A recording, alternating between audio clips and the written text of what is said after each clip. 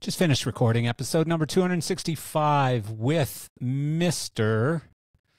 David Wolstenholme. I didn't want to screw that one up. And he's from Worcester, Wor- Wor- Worcester. He's going to laugh at this because I still can't say the word. It's funny because, you know, up here we mix that into a drink called a Caesar and everybody pronounces it differently. But he's from that place in England. Uh, really super interesting guy. He's out with ELO right now. He's in Cincinnati and uh, just finishing up, I guess, the U.S. tour for that. Uh, said he goes back home the end of October, so I guess he's got a lot of shows left on that tour. Um, some really smart stuff. We talked a lot about networking and networking, uh, you know, MA consoles and all that kind of stuff. So show networking uh, on installs or shows. And so, anyways, grab on, listen to episode number 265 on Geezers of Gear. Hello, and thanks for joining me today on Geezers of Gear, episode number 265. Today's podcast is brought to you by Mainlight, a national dry hire rental provider specializing in supplying the latest lighting and stage equipment technology. Their extensive rental inventory includes moving lights, truss solutions, control consoles, LEDs, and an array of weather resistant IP65 rated fixtures, perfect for outdoor venues. Whether for theater productions, outdoor stadium events, or TV film broadcasts, Mainlight is the partner you trust with the gear you want. Committed to quality and reliability, Mainlight also provides a robust selection of used sales options to their clients. Each item is meticulously maintained, owned by Mainlight, and comes with a 60 day warranty providing you with confidence in your purchase. Strategically located across the U.S., their four locations include Teterboro, New Jersey, Wilmington, Delaware, Nashville, Tennessee, and Las Vegas. They combine the vast resources of a national company with the attentive, personalized service of a local provider. Discover how Mainlight can equip your next event by visiting mainlight.com today and get a quote directly through their con- comprehensive online ordering platform. And today's podcast is also brought to you by Elation. Despite the immense amount of IP rated entertainment technology on the market, there have been no IP rated data distribution devices to provide the required infrastructure for shows and events. Obsidian Control Systems has changed all of that with the launch of Netron IP66 devices, the world's first IP66 range of signal distribution for entertainment applications. A 2023 PLASA Innovation Award winner, the Netron IP66 range blends the proven chassis and connector technology of Elation's market leading Proteus range of weatherproof lighting fixtures with the Netron data platform. Netron IP66 devices excel at managing complex network lighting systems in wet or dusty environments and are compatible with all other manufacturers' lighting control systems. Avoid potential costs associated with equipment failure, water damage, or downtime due to subpar protection against the elements. Check out the Netron IP66 range today at obsidiancontrol.com.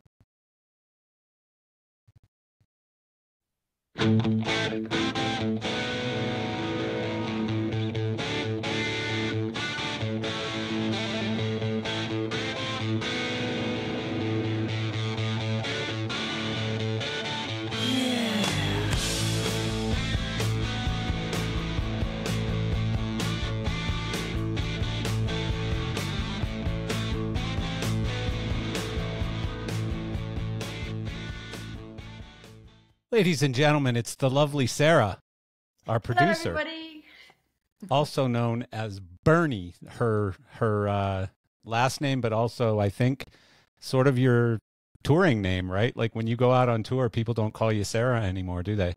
Yeah, it's well tour name, and mainly it was from like F1 days. So I was known Yeah. as Bernie, you know, and I was the Bernie. You know, obviously the other Bernie. Well, now there's another Bernie. Yeah. Well, there's actually a couple of Bernies, but Yeah, I know everyone's copying us now. Like seriously. well, I think it might actually be their name, you know. Like Bernie Ecclestone might have been there before you, perhaps.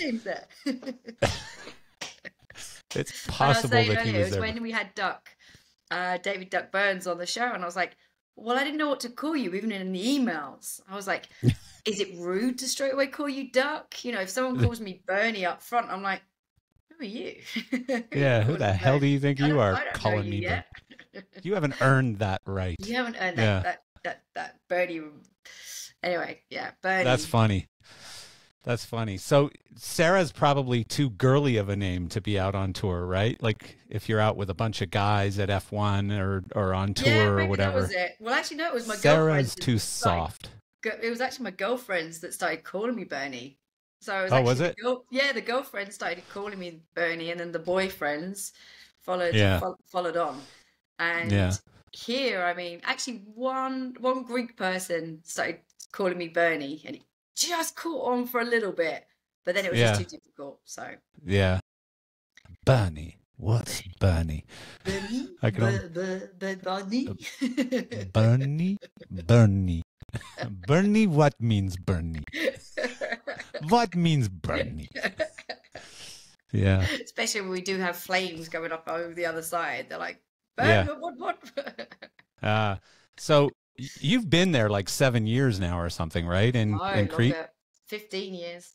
Oh, 15 years. And you still don't speak any Greek. I do speak Greek, but not Uh. to the level that I should speak Greek. Let's Yeah, like way. you can you can probably order dinner and and find out where the toilet is, but Yeah. beyond that you're screwed. But I mean, Mano, so I mean, for let's say for eight of those years, I was always traveling Formula One. There, I'm like, you know, this wasn't my base. yeah. So officially, this has been my base for, yeah, basically seven years, eight years. Eight years. This has been my base Yeah. my home, and I Full really time. should, I really should, should, should. Even now, I'm married. I'm married to a Greek man, and right. I mean, seriously, The mighty Manoli. How does how terrible is that? Like, you know, that our our well, our main language is Gringlish. His English is fairly perfect though, right? his English is, but at some points there's like if he's tired, then he I mean sometimes you don't understand me. So imagine a poor Yeah. Greek man. Yeah. Yeah. Well, I have trouble with, you know, That's my what I mean. girlfriend is is British. I have trouble with her occasionally because for her she's very stubborn and won't get rid of the English words or the British isms or whatever. And sometimes she says things to me and I'm like, "What the hell are you talking about?" You know, like some of the the old sayings or whatever and Yeah. I'm like it doesn't make any sense whatsoever. But you imagine And, that doesn't uh, make sense to you. Can you imagine with with Manoli? He's really like, no, I, I don't understand. I'm like, oh, I'm so sorry. Could sorry. you draw me a picture? Draw this for me, please.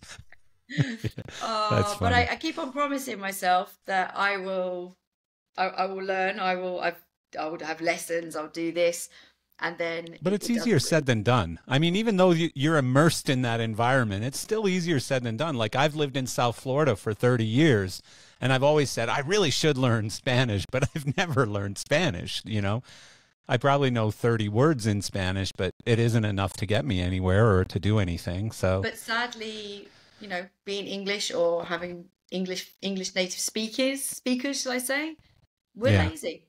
That's it. yeah, You know, we, I have, I've, there's so many, the tourism that comes through here, it's not just Greeks, it's not just, you know, French, Spanish, Italians, Mexican, you name it. We have everybody come through here. And what does Right, everybody yeah. speak? English. yeah, So, like, I know I'm lazy, um, but lazy in a nice way. yeah. Well, you know what? And you've gotten by this long, so it's not like you have to do it. And you know, like I know a lot of people. Uh, Bruno Dodoro used to crack me up. He he was the owner of Coemar for many many years, Coemar Lighting, and in Italy. And so when the company that I was a part of, uh, first when we started doing business with Coemar, but then we eventually acquired the company. Mm. Um, it was funny because I would do business with with Bruno daily, and I could tell that he understood English, but he was being stubborn and pretending that he didn't. And so he'd bring an interpreter along, and and I started picking up some of the words that he was telling the interpreter, like bullshit him and tell him this, you know, and things like that. And, you know, so I had to learn enough English to know that I wasn't getting screwed. And I also had to really understand, and this was when it was lira, I had to understand uh, numbers as it pertained to to mm-hmm. finance as it pertained to money. So when he was talking about how much something would cost or or could it could we get it to this price or it needs to hit this number or whatever you know sometimes it was you know that's really interesting vente due mila lira you know and that sounds like a lot of money, you know, but lira were like 1700 to the dollar or whatever, you know. So it was like something was a million lira and you were like, "Oh shit, that's way too much money." And then you go, "Wait, that's only 10 grand or whatever it was, right?" so, um so yeah, it's it and he was just so stubborn. He just refused to absolutely learn English and refused to acknowledge that he knew enough English to be able to communicate in English. So really, and that's just... so great because I also I have people here that at first I will always always I'll try and speak Greek. I mean, there's there's uh, one taverna at the moment. I think I told you I've been helping out, and yeah. everybody in the kitchen. There was one guy that I knew spoke English, and everybody else, as far as I'm concerned, nobody did. So, like every day, I was speaking my best Greek. Yeah. Literally after like almost a month, one man, he comes around and he's like, start speaking English, but not just English. I mean, fluent English. And I looked at yeah. him and I'm like, you've been letting me speak my dodgy Greek this whole time. Yeah. And he went, I thought it was good. And I thought it was, it helped you. I said it did actually because now I'm just going to speak. That's English. hilarious, though. That's so funny. That's so funny that he did that. Yes, I did. You've been taking the piss. Yes, I have. and I hilarious. think it was a test to see how good a worker I I actually had like a good a worker because at first he just saw me as like you know Manoli's wife. Eh, what can she do? And then of course yeah. you know me, I went in and I was like, yeah. Bernie's here. That's hilarious. You know, on the on the translation thing, one time my ex-wife, we were in Denmark 25 years ago probably for a Martin thing and we were at the Aarhus Festival in Aarhus, Denmark. And we went to this beer stand, and the guy wasn't speaking a word of English, you know, bira, blah, blah, blah, it's this much, and whatever. And she couldn't understand a word he was saying. So she just put out her hand with a bunch of kronen in oh, it, no. like the Danish money. And it was all coins, right? And half of them had holes in them. The other half didn't have holes in them. She had no idea how much money she had in her hand, right? It could have been, you know, 30 bucks or something. So she just holds out her hand and he grabs a bunch of coins and she goes, Wait a second. Are you screwing me? And he goes, Yes. Spoke English all the time, you know, but just wanted to complicate her life a little bit and certainly accomplished that. So I do the same. I mean, sometimes if I'm in a group of people, not all the time, just sometimes, and then you know I'll be speaking and they'll be like, your English is really good. Where are you from? And I'll say somewhere, like somewhere not England, you know, oh. French, really. yeah, that's fine. Really? And I was like, no, I'm not. no, I'm English. That's why I speak English. Yeah. So, um, we wanted to get you on here to talk about what you did a couple of weeks ago, which is uh, something that I guess you used to do more often, but now that you've been you know, locked it down in, in Crete and married and stuck doing producing for this silly podcast, Geezers of Gear. You never do this anymore. So, um, so you actually went out on tour for a week. I did. So it was all very fast. I got the call probably literally was like five days before I actually flew out. Mm-hmm. Um, mm-hmm. So obviously I was really wanted for the tour, you know, not that someone dropped out. yeah. Yeah, that's true. You they planned well in advance to get you, you out there. You have to put these things into perspective. They were so like, Sarah, we've missed you with this. And I'm like, yeah. miss me or someone's just dropped out and there's nobody that's hilarious. Right now. Yeah, well, come that's on, you hilarious. Look at the facts here.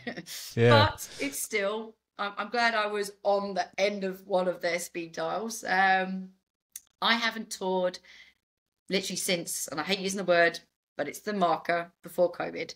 Um, my Yeah. my my my last last gig during that summer was Muse, the Muse tour, and then OMD, which was a small one through Europe. Um, and you know, I thought that that was going to be, you know, what I was going to be doing for a long time. I think most Yeah. people did. Although I was never what I call, you know, like a regular tour. I wouldn't go from one tour straight back to back into another.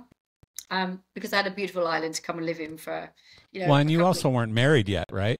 no, I wasn't married, but like I I was never really into that, you know, like just working 365 days a year. Like I loved this island before I fell in love with my, my um, I keep on saying Marcel. yeah, you don't want to do that. Uh, No, I love you don't want to do that. I'm not. I'm Yeah. not. yeah. Yeah. Um, no, I was in love with the island, you know, before I fell in love with Manoli. So for me, you know, I would come back to enjoy the island and do my walks, do everything, and then go back on tour um, Yeah. whenever the moment felt right, whatever. Um, so Yeah. to be asked to go back on tour, it was only, it literally was a week. It was three days in the end. Um, one, one day, one day, in, where is it? Belfast. Then we travelled to Dublin where we didn't work, but then we then went back up to Glasgow for two days. It was incredible to be back and to be part of it. The team, um, like Blink. Who are you 182 with? Blink One Eight Two. Um, they were all amazing. I mean, really, from production, pyro. I, I met the pyro before, like um, on Coldplay.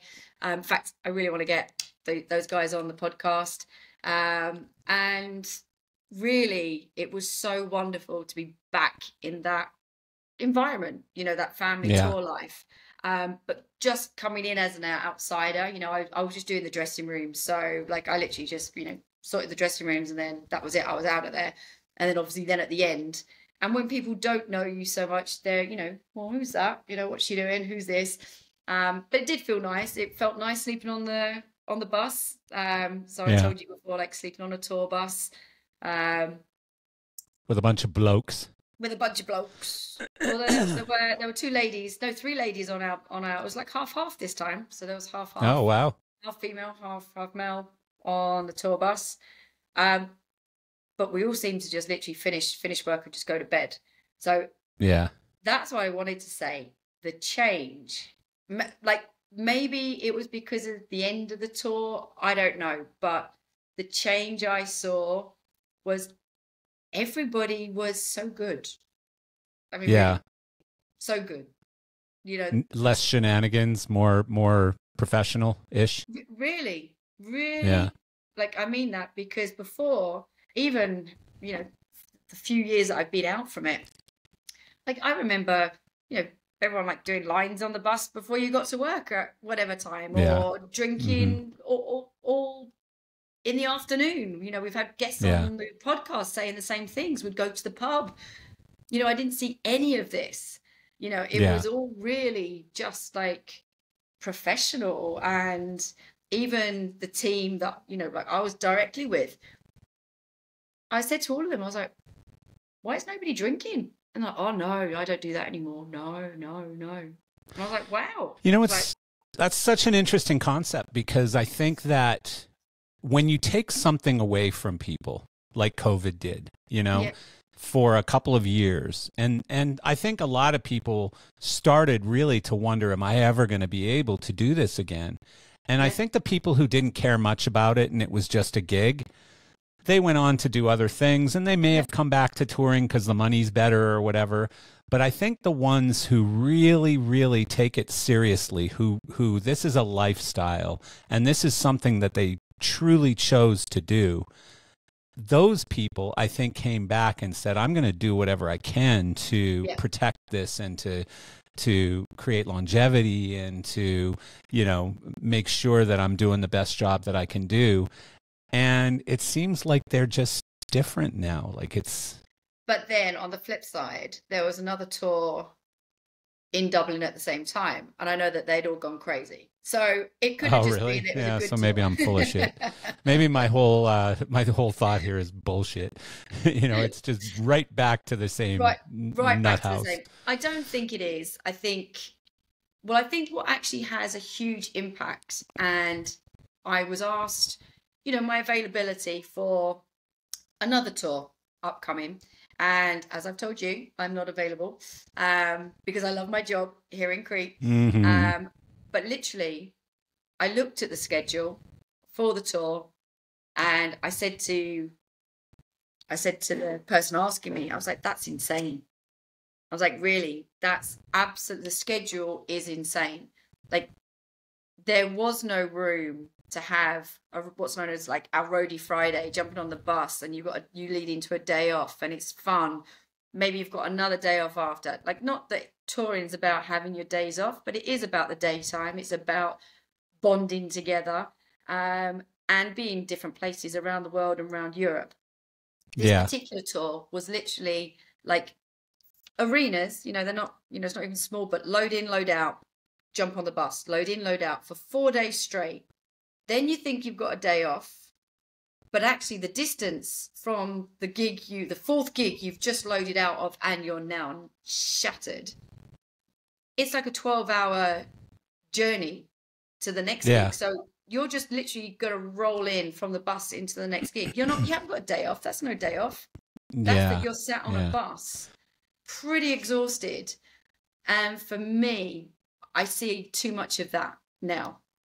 Yeah. And, and that Huh. for me, that's that's that's you big people. Well, that there. I think that is just the whole money grab side of our industry. Really? Well, not our industry, but the the rock and roll or or music touring industry, the live music touring industry. It's a money grab. You know, it's like, wait, if I can do fifty shows, can I do seventy? Can can I do We're eighty? all And going to do it. And like- then the promoters at the very top of the food chain, the promoters and the artists are are just wringing this thing out to get as much as much money out of it as they possibly can.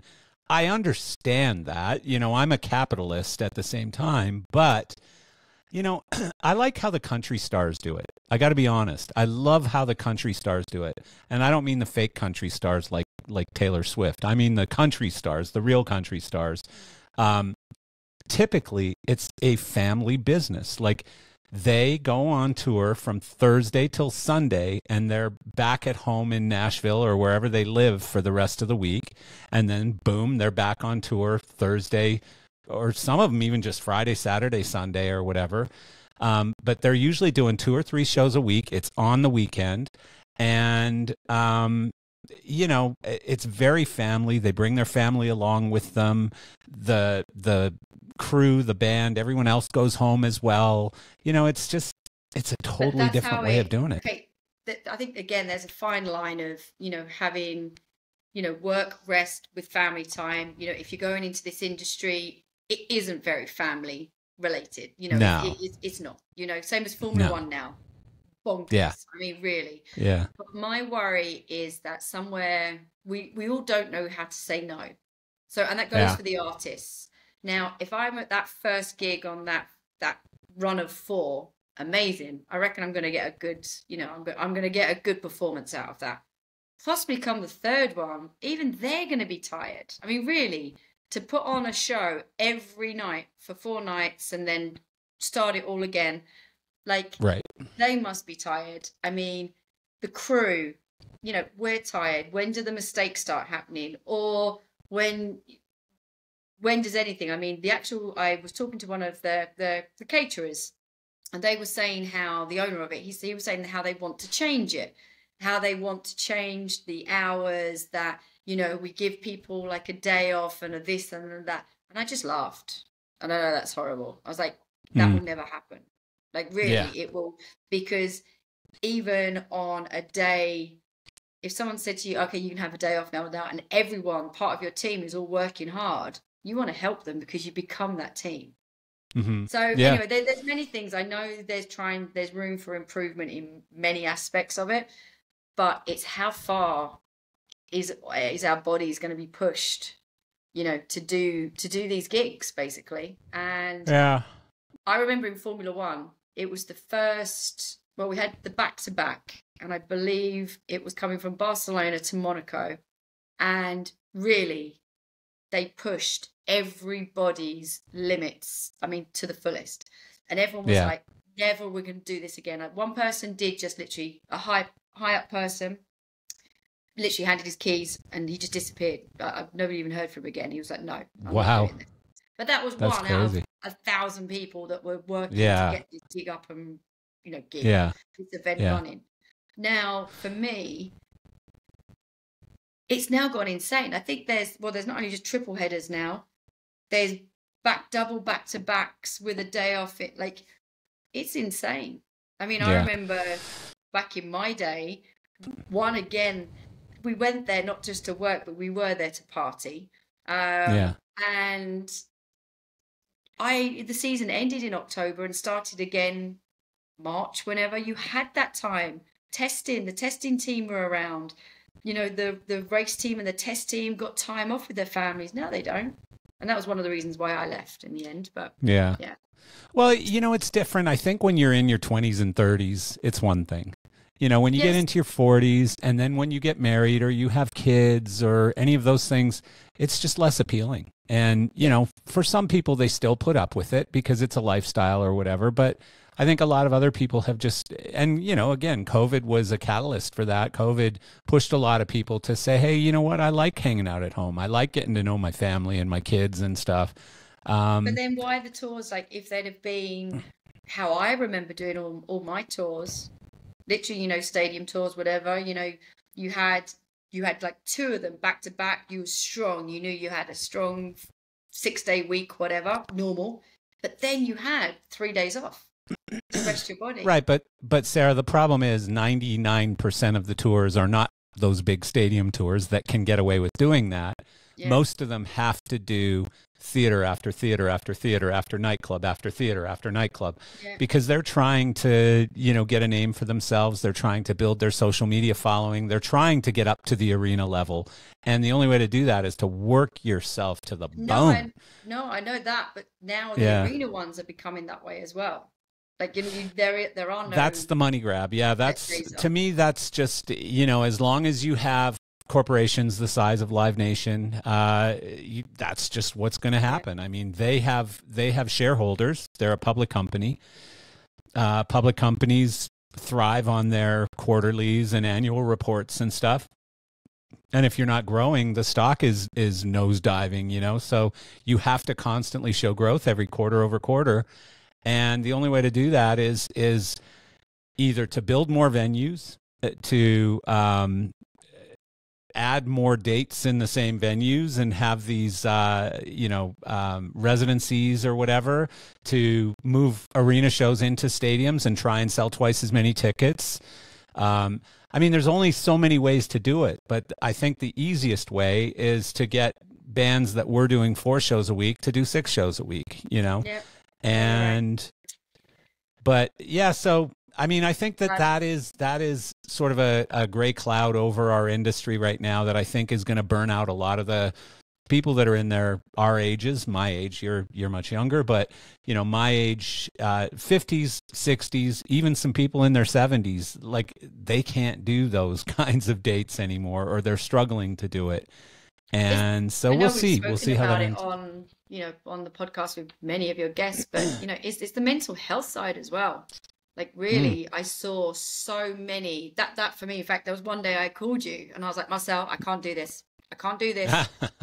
like people are going crazy on me, and I'd only been there a week, yeah. and I just saw it, you know, and I was like, no, take me back to my beautiful island. Take me back to here. Take me back to you working. Tick, tick, tick, tick, tick. Yeah. Well, you know what? I mean, there's a lot to be said for for having your home life and for being able to like I love remote work. I you know, I've leaned into it pretty hard obviously with Gear Source and Yep. uh we have people in Europe, we have people in Canada, we have people in the United States, we have people in Asia and I love it. Like it's cool. I see these people every day. You know, for those of you who don't know this, Sarah and I have been together uh, through both Gear Source and Geezers of Gear for what, four years, three, four years now, Last year, three, yeah, three, four years, yeah. and we've never met. Nope. Sarah and I have never met, and we're like best buddies almost, and and we've never met. You know, we talk every day, but uh, we've never met. So we've got something brewing for LDI this year, and Yeah. uh, so not only will Sarah get to come over to LDI, but we'll actually get to say hello in person for once. So that'll be fun. That'll be fun. That'd be quite She'll probably weird. I'll like, realize how much taller I am than her. And, I know. and I she'll was be gonna like, say, oh, you'll be like, "Wow, I thought you were short." short."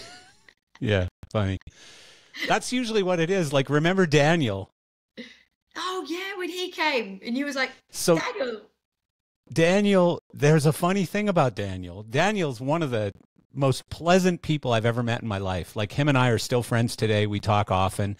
His spirit is like everybody else's spirit is around here. We have good days and bad days, you know. We're we're around the 50% range. He's up here somewhere where it's just always up. Like it's like, "Whoa, today's going to be amazing." You know, that's how he wakes up every morning.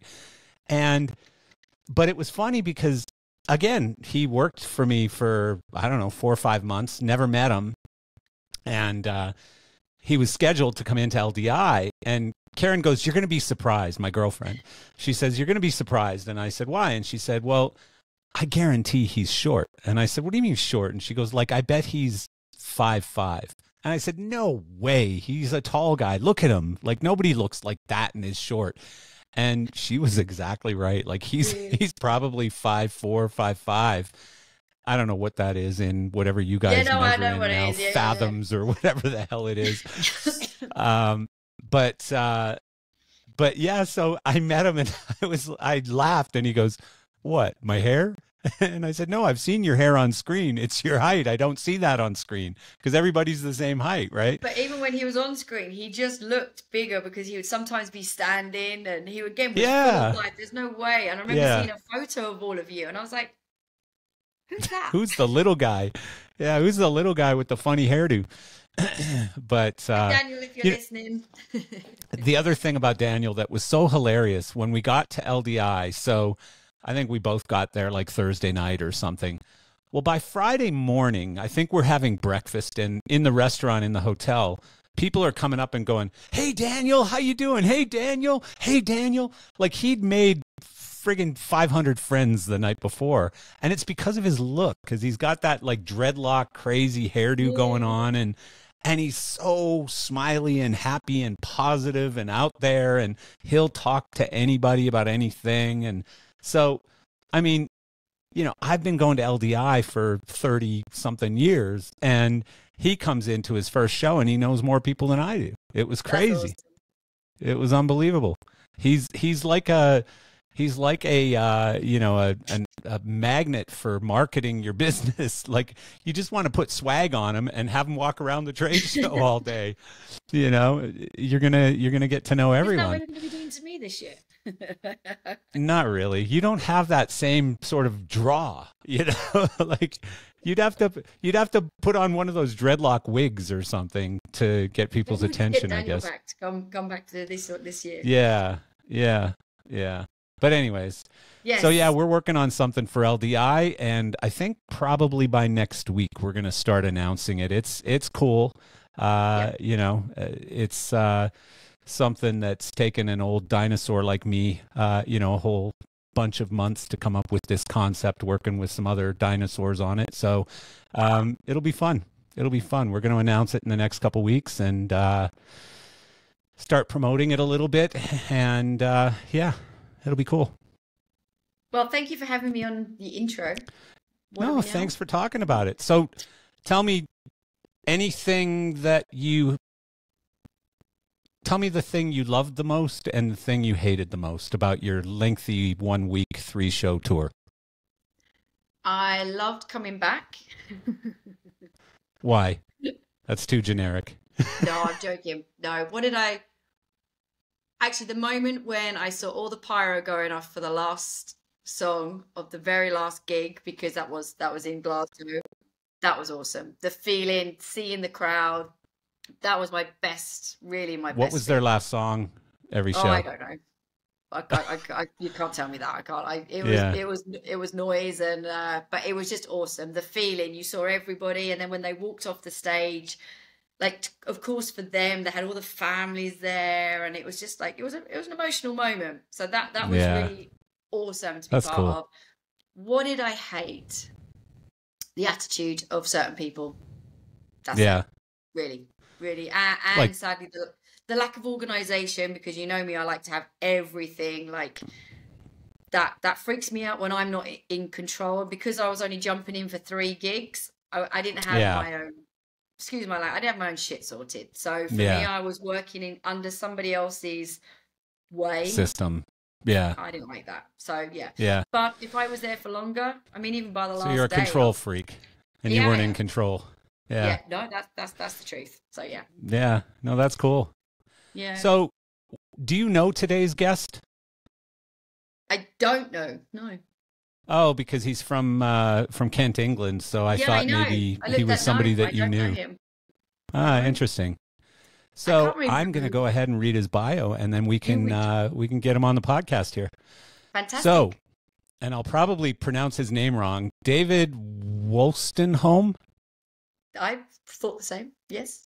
Wollstone. Okay, so David Wolstenholme is a control systems specialist from Kent, England. David has gained extensive experience touring large scale musical theater and ice shows and has spent time at the National Theatre of Great Britain and Cirque du Soleil.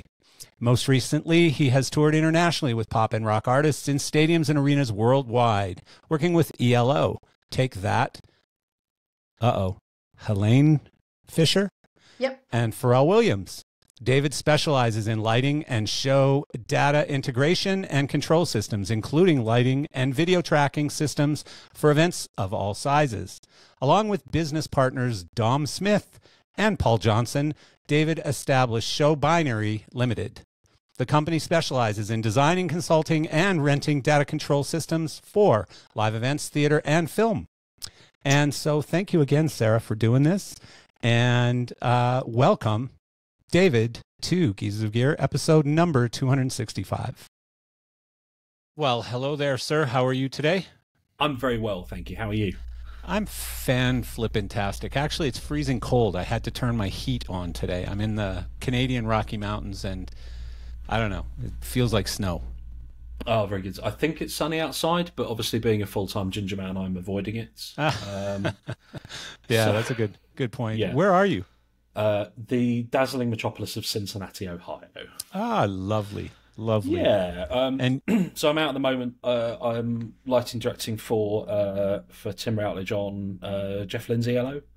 So we've Ah, got a couple of days off. It's a it's a yes a lovely old man of rock and roll tour. You know, do a few shows, couple of days off, kind of affair. nice. So, yeah, perfect schedule.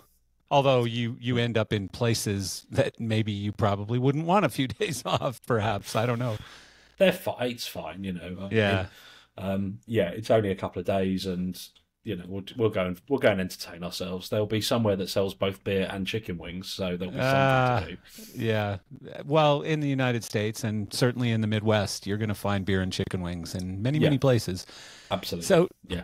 Um, you said Jeff Lynne's ELO. So is it one of those ones like where there's multiple fractions or factions of the band that are So kind of broken my- up by member? my understanding of it is that um, the band, yeah, sort of went various separate ways um, a number of years ago, and then Yeah.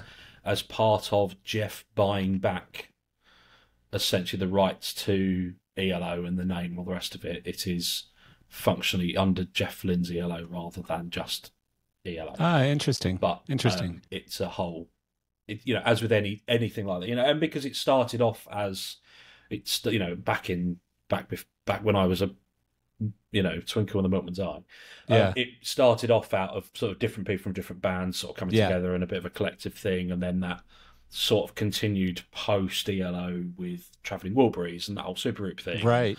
um, and all that. So it's yeah, it's always been a bit like that. And then um, and this is um, yeah, very much Jeff and the the the the late Richard Tandy was was on the first couple of tours as well, playing um, playing piano. And he yeah, he unfortunately passed away last Oh, year.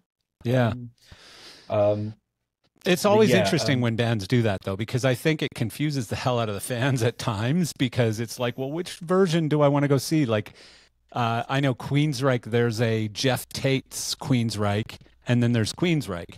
And they're Yeah. both touring at the same time, you know, and it's like, well, which one do I want to go see? The one with the singer or the one with the band, you know? And Yeah, the band quite. doesn't No, have the whole band, but they've got part of the band, and it's weird. Yeah, I think there's a little less of um, there's a little less ambiguity with this. Um, Yeah.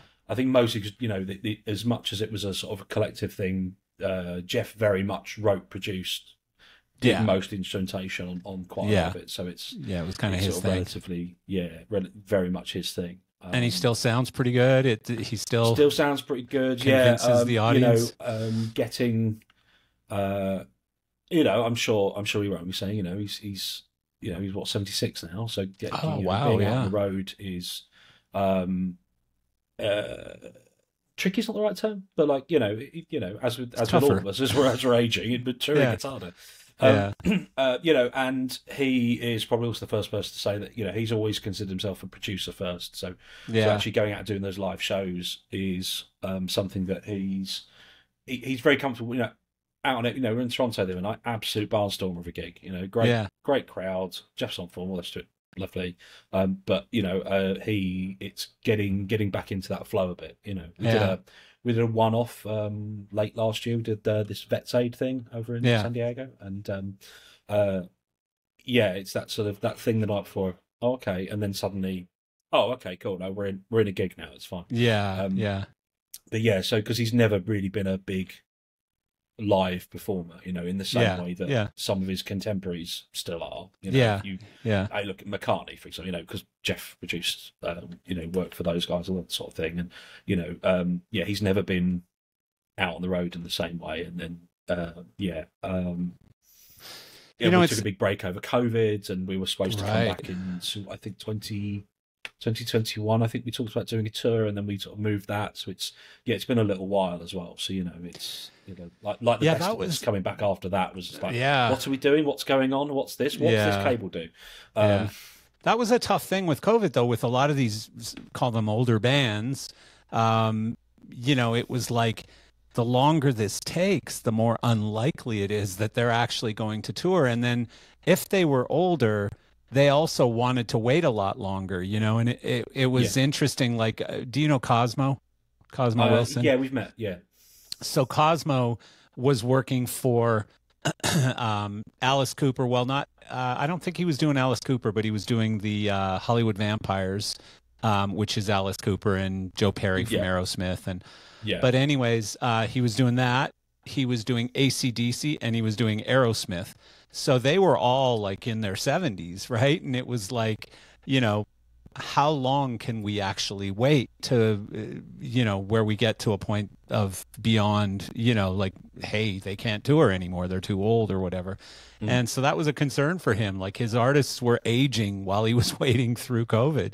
But it's Yeah. amazing to me how many of these artists are pulling it off. You know, like obviously the Stones being the biggest example of, you know, Mick is 81 now, and I saw him sprinting, you know, sprinting on that ramp that goes out into the audience, uh, you know, like literally running at full pace and then running back onto the stage. And this guy's 81 years old. Like, come on now. yeah. It's it's Um, really remarkable. think you know, I think it depends on the performers as well. You know, if the, if it's the guys Yeah. that have been out, that's what they've done every day of their lives for Yeah. the last what six decades or something. Right, Absolutely yeah. terrifying. yeah. Um, you know, like like anything, you know, you retain your you retain your physical fitness by yeah. by doing Yeah. all that. So yeah, I think that's probably a bit easier. But yeah, someone who's um, you know, those artists who are sort of less on the road and all the rest of it, I think it, yeah, it's, it has, been more difficult. Um, Or the guys who are still partaking, you know, like trying to Oh, yeah. pretend like they're in their 40s or whatever. And, you know, that's not a good idea either. And, you know, I think maybe Steven Tyler might be more of an example of that, you know, of someone who forgot that he's in his 70s and d- needed to do things a little differently, perhaps. I don't know.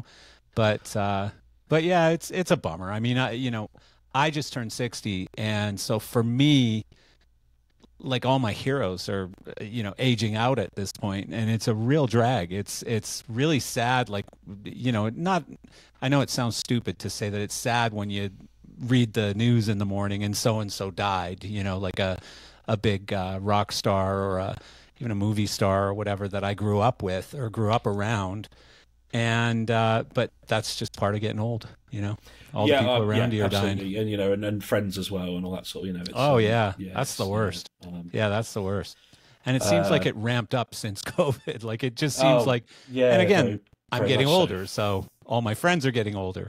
Yep. So yeah. So So absolutely. Um, David, how did you get started in this business? What uh, what inspired uh, this unbelievable, incredible, glamorous lifestyle that you now lead? Oh, the glamour! I get home every night and wash it off. Um, Yeah. So I um, uh, I was not. Let's describe it as particularly academically gifted. Yeah. Um, I went to a grammar school in the UK, which is a we have a in certain parts of the UK we still have a like a uh, like a tiered education system. Yeah. So I, I went to the sort of the oh you're you're you know the the sort of the higher end one of those, but I wasn't um you know I wasn't that that kid and Yeah. what I found myself doing, you know, very interested in like DT and like design technology and wood shop, I think you'd call it, right? Yeah. Uh, you know, that sort of thing. And, and you know, my um, my dad was um, electrical engineer. He worked at the power station all his life. So, uh, and I got into doing little bits and pieces on like school discos and stuff, and a bit of theatre tech Ah. and, and in school, and then. Um, and essentially, I didn't get the qualifications that I would have desired to stay on at that school to do my sort of A levels, which is you know, we do we do sort of up to 16 and then seven sort of uh yeah up 16 sort of 16 17 you then do next level and then university after that. Um so i didn't i didn't get to stay for that. So i went to i, I found a course at a local college that was doing um like a two year thing that was technical theatre. So i went and did i went and did that and um um, hilariously, my I was I was away doing something, and my mum actually got a, a, a tour around with my my good friend Rob, who was the in-house tech there, and um, had a chat about it, and so I thought, well, I'll go and I'll go and do that. That seems that seems interesting. It just seemed Um, regular. It seemed more fun than regular school, I guess. Right. Yeah, yeah, absolutely. Yeah. It was it was that, or go and do like an apprenticeship, or go and do some sort of you know do going working with.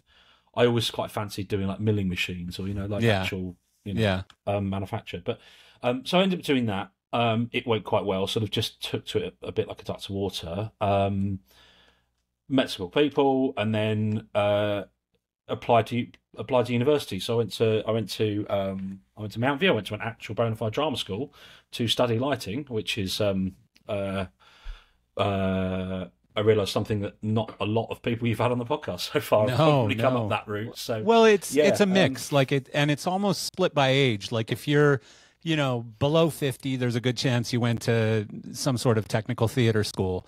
If you're above fifty, you probably didn't. And Uh, well, I mean, it's certainly really not- Yeah, it's I not mean, not in the same perfect, but- yeah, yeah, yeah, yeah. Yeah. Um, uh, see, I did. So I did that. Um, so I did. I, I did a degree at Mountview, and and honestly, what pulled me there was um, mostly that they did a they did a two year um, degree course. yeah. It's quite a lot of work, you know. Uh, the, the the holidays are shorter and that sort of thing, but but at the time it was, you know, that's that's a nice option because again, you know, I, I didn't really want to be in academia for three years, more get on three with years it. longer, I should say. Yeah. And um, uh, and it was an interesting thing. So yeah, moved to North London, did that, did some work at local theatres while I was there. Um, again, met some uh, met some really fascinating people and.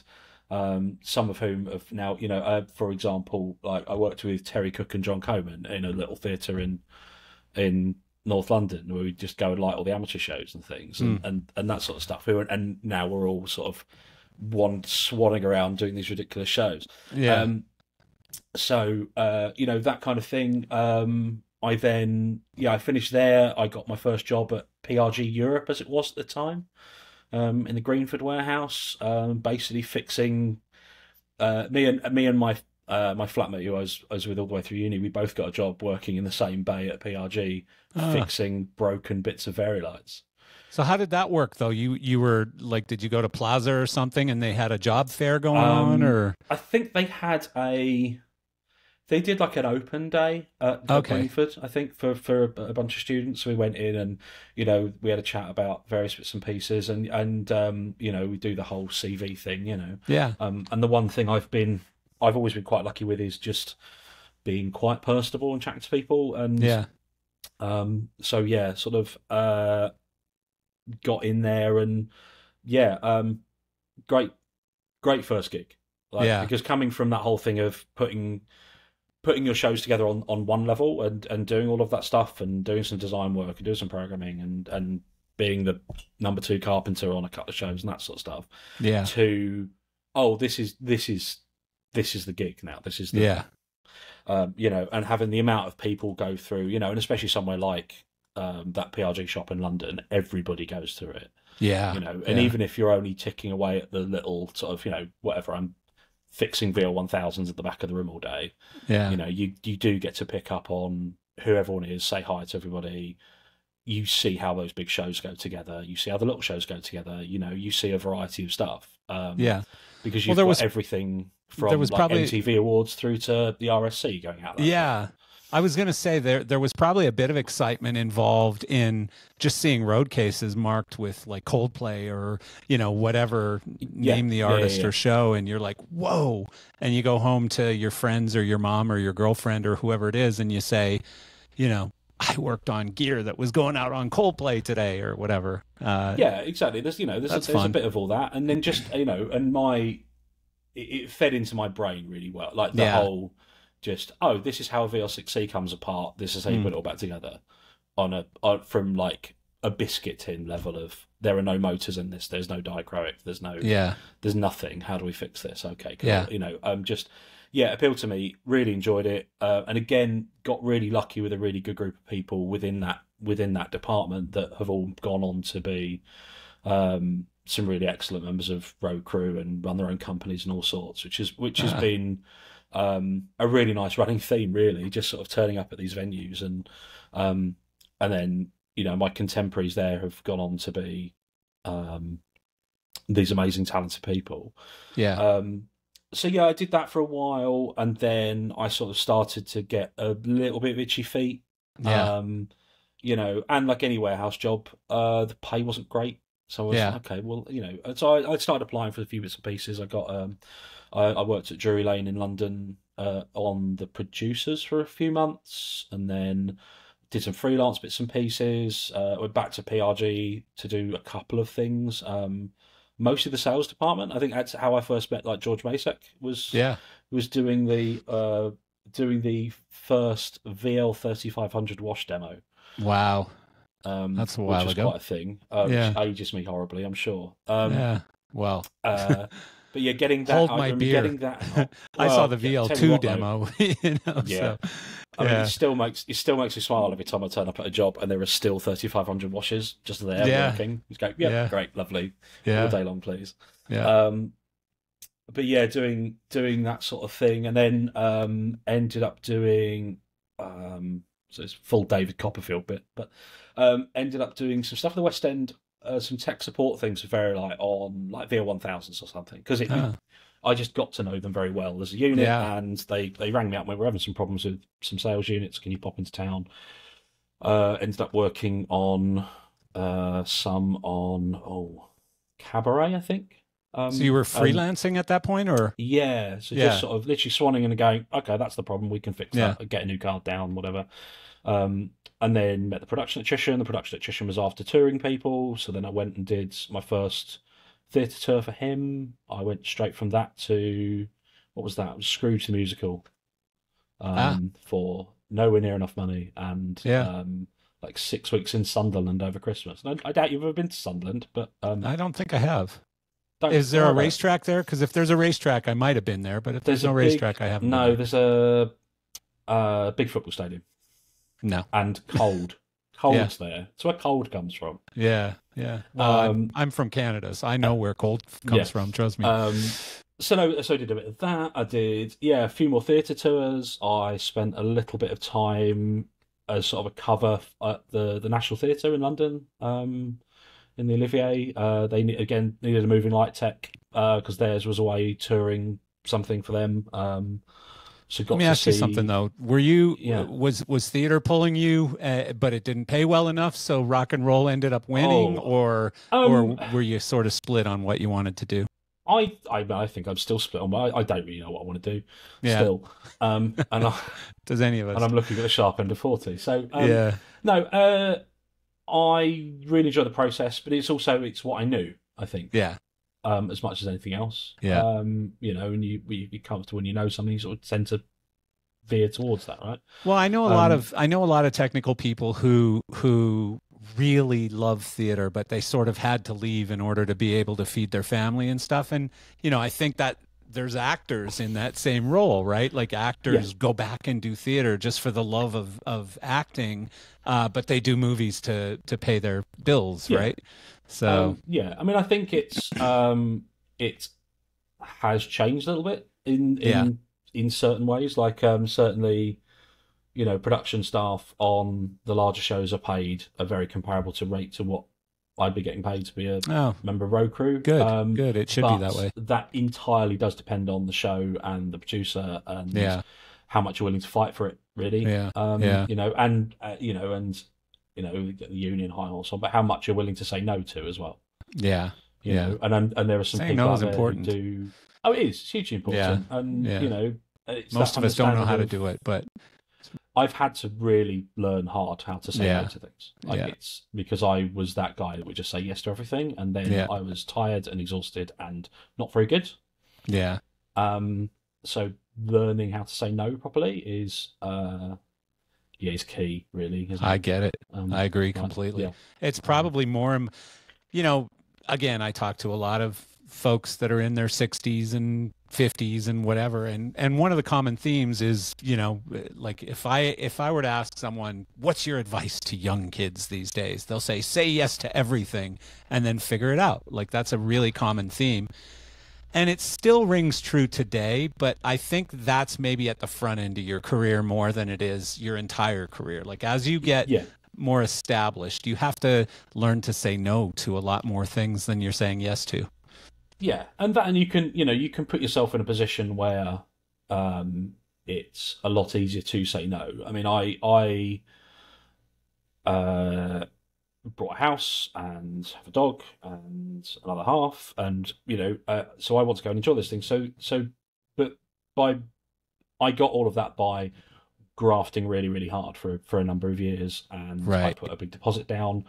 But I put a big deposit down because I was either staying at a friend of mine's quite cheap, or I was effectively living out the back of my car when Yeah. I was, um, you know, I was going to hotels to prep. I would do a tour. I would come back. I would go straight into the next prep for Yeah. eighteen months. You know, um, Yeah. So I didn't made make a lot of sense to pay myself for a spend house. money. Well, it does. Yeah. Um, you know, but then, but then now I'm in a position where I finished doing Helene Fischer last year, and then I put enough money away to go. I'm going to have four months off. Just not going to do anything till whatever. Good for you. Good for and you. then and then I took a couple of a couple of weeks here, and a couple of weeks there, and that ended up till June. And then it's like, okay, great, yeah. that'll do. That's that's a much better. We talk about work life balance. That's a really Yeah. nice work life balance. I can graft Yeah. really hard for six months and then do nothing Yeah. for six months. That's great. Yeah. That's Um, amazing. Yeah.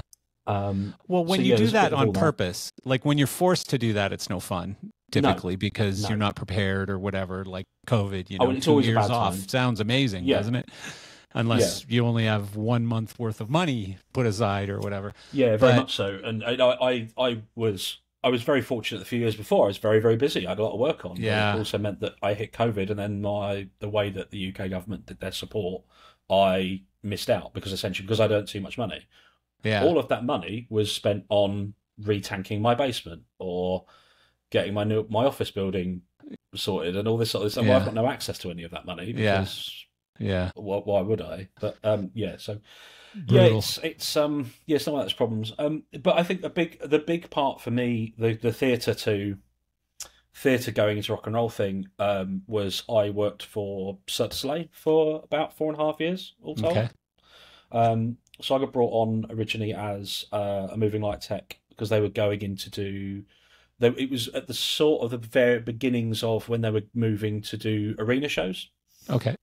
So uh, obviously, Cirque is sort of known for its big Vegas things, um, but uh, and they're and they're big tops, you know, and then they go into town. They'll sit there for six weeks, two months longer. Um, and they were taking uh, they'd already done Saltimbanco, and that had gone quite well. Um, and they were doing redoing Alegria, and Alegria was sort of the at the time was one of the jewels in the crown. It was one of those original Franco Dragone directed Yeah.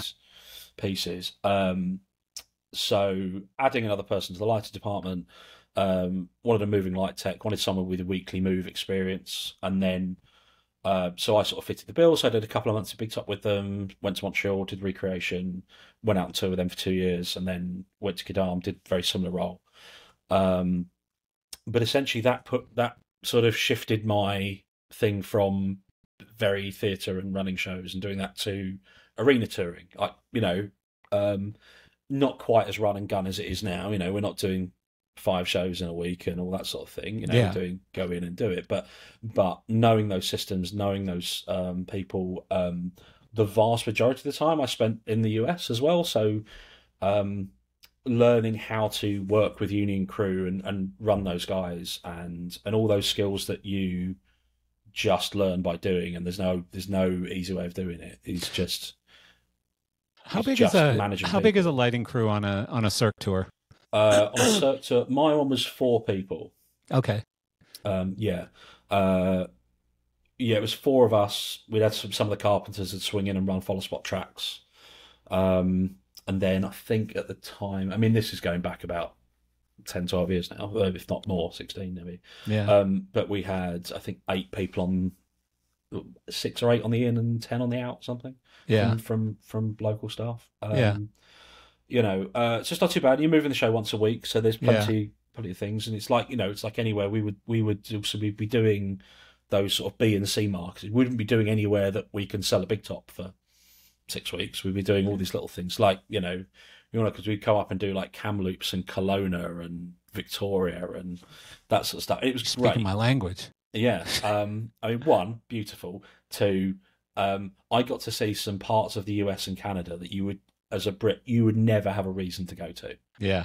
And then you spend a week there. And I think we used to joke, you know, if, the town's, if it's not a great place you don't want to be here, particularly, you're only there for a week. But if it's quite nice, well, you're there for a whole week. So it's great. Yeah. Um, so yeah, um, that and that's really what shifted me. So when I got back to the UK, I did a few theatre things again because I sort of knew enough people. Um, got back in with PRG and like um, uh, Pete Marshall gave me some jobs, and John Cadbury gave me. A, I went and did um, oh, one of the Bee Gees. That's bad, isn't Okay. it? Uh, I did a tour of that, which was really nice, and and um, some of the Elton crew. So um, uh, sort of did a bit of that, and then fell into um, fell into Neg Earth uh, because of uh, a couple of factors. One being that they were they were supplying the extras for Cirque, and I sort of popped back to the Albert Hall show because it was my old show, and they needed some cover and some help. So I'm like, yep, great. I'm not very far away. It's a you know a train's a lot cheaper than a flight. Yeah. Um, uh, and then yeah, so I fell in at Neg Earth uh, through that, and and Terry Cook giving me a rec- or giving Julian a recommendation, and um, and it's all sort of gone um gone from there. Really, is how I've ended up doing this sort of rock and roll thing, and that that's so that big transition really was was going to Cirque and doing that doing that change from sort of the maybe sort of the biggest way that I'd like a theatre style show Yeah. can kind of tour yeah. into actually how rock and roll tours on a regular basis. Wow, that's that's awesome. You know, I mean, it again, it's sort of unconventional when you look at how most people came into our industry, but I think it's a much more realistic and reasonable way to come into the industry because the other one sort of relies on a lot of luck and who you know and running into the right guy at the right pub, you know, and Yeah, nowadays and there's still a lot of that. Yeah, yeah, you know, um, and whereas the UK we're quite lucky in that all the pubs are a lot closer together. Yeah, But, yeah, um, that's true. Yeah, you don't have to travel as far to find a gig. Uh, but no, I mean, especially now, you know, since since the c word, COVID, um, you know, every large lighting company, touring act, um, sound company, staging company, they're all looking for people. Like people right now, uh, you know, you're the the the most sought after piece or component of a show and especially good people, you know, because there's so many new people who have come into the industry now. So I think that, you know, for for schools to have proper, uh, you know, training or, or education to get you at least started, I still don't know why it always has to go through theater. I mean, maybe that's a, a good direction. I don't know. Like over here, we've got Full Sail in the United States, and it's not completely reliable, but it's a decent school. Uh, you know, it's a private school, so it's more expensive, and and they've got their own agenda or whatever. But um, that's been a pretty good training ground for for quality lighting and sound people. But, you know, I still wish there were like this is still viewed as a band of gypsies. You know, it's oh, it's yeah, hugely. still not a real career. I think there's a real lack of understanding, maybe, about the about the where, we now have to exist. yeah. Like, so my so my if I'm not here doing direction, if I'm not if I'm not essentially if I'm not operating a show, my main uh, my main skill set is actually doing um, like lighting control systems, so, Yeah. so networking and um, data and you know, all that sort of stuff. Yeah. Um, and that's not something that you can sort of really quantify. Like when people go roadie, they'll go, "Oh, okay, yeah, that's that's the image I've got," and not, "Oh no, this is really specifically what I do." yeah. This this really really tiny subset. Or if you look at I don't know, like Dave Evans, like automation technician, it, he considers an automation mechanic. He doesn't really like operating, but he is exceptional at making everything work. And Yeah. or if you look at like the the PA systems guys, again, we've all got very very specialist, incredibly, um, incredibly sort of technical knowledge and a workspace that Yeah. we're, we're now in that is a lot more um, a lot more so than maybe it used to be. Yeah. You know, you know, oh, I'm a I'm a lampy on a rock and roll tour, great, but actually, well, I do I do I make the tiny wires, do the tiny wire business, and you know, like my dimmer tech on this Kiss, Kiss does Kiss does heavy mains all day long, and he's Yeah. one of the best in the world at it. Yeah. Um, and that's what he does, and he knows he knows enough about the bits I do, and and vice versa. But like the the the, the specialisms and the skill set and the knowledge required for some of these jobs now is so specific. I mean, even even, operating and programming, you know, I'll, I'll be the first person to say I'm not I'm not the best programmer in the world by by any stretch. Um, you know, uh, but those guys have to know such a specific thing. Why they, they, they shouldn't have to worry about any of the rest of it. Yeah. And Yeah. I think we've come from a very broad church, and actually now everything is it's a lot more compartmentalized. Um, well, the size of and, these and I think shows it's a, too. and I think it's a good thing. Yeah, absolutely. Yeah. And what we're trying to do with them. Yeah, I mean, you know, I remember a day not that long ago when when there weren't video directors out on tour. You know, it was just kind of part of what the lighting director did. You know, he Yeah. he cued video things, and you know now they're so complex. I mean, video is such a big part of the show. Yeah. and there's all kinds of specialized things there, talent, skills, whatever, and. uh and then video techs as well. You know, you can't just get the lighting guys to take care of the video stuff because it's entirely different. And even from a lighting standpoint, like it's so different. You know, you probably don't have to drop lights as often as you did when you first started, uh, especially VL3000s, 3500s, you know, any name the brand. Like if it had Oh, a a yeah. 1200 watt lamp in it, chances are it was wreaking havoc inside that fixture and things were not working on a daily basis. Yeah, So- yeah, that's that's entirely fair. Yeah, no, we're not Yeah. we're not swapping out anywhere near as many. Um, I would also present to you though that the second that light's on the floor, you're struggling to fix it because everything inside it, you know, the the, the technology we've now put into these tiny packages Yeah. is so much more detailed, and because we don't have because we sort of lost because you sort of lose it in a number of years, a very short number of years. That that fault finding moving light knowledge that you sort of is you're kind of first if you've worked on the if you've worked on the bench in the warehouse for a long time and then you go out on the road you sort of start okay tech or maybe moving light tech if you've worked in the moving light department but that that knowledge disappears really quickly when you can't Yeah. fix those lights on the road Yeah. you know as much as That's a um, good as point. much as some of those older fixtures yeah the 3ks the 2ks the 6cs the 5s Yeah. that that sort of mainstay of of rock and roll touring for a long time as much as yeah you had to fix them a lot you could also fix them You know, would it's send not you the bits and it- you it's funny, but it's similar to- similar would- to cars and and a lot of other things, you know, televisions, you know, like I Yeah. mean, when something used to go wrong with an electrical component whatever it was, you could fix it. Nowadays, it's like forget it. Like you either replace it or send it back to the company or something. It's all this, you know, real heavy duty electronic kind of stuff now as opposed to just swapping out a component.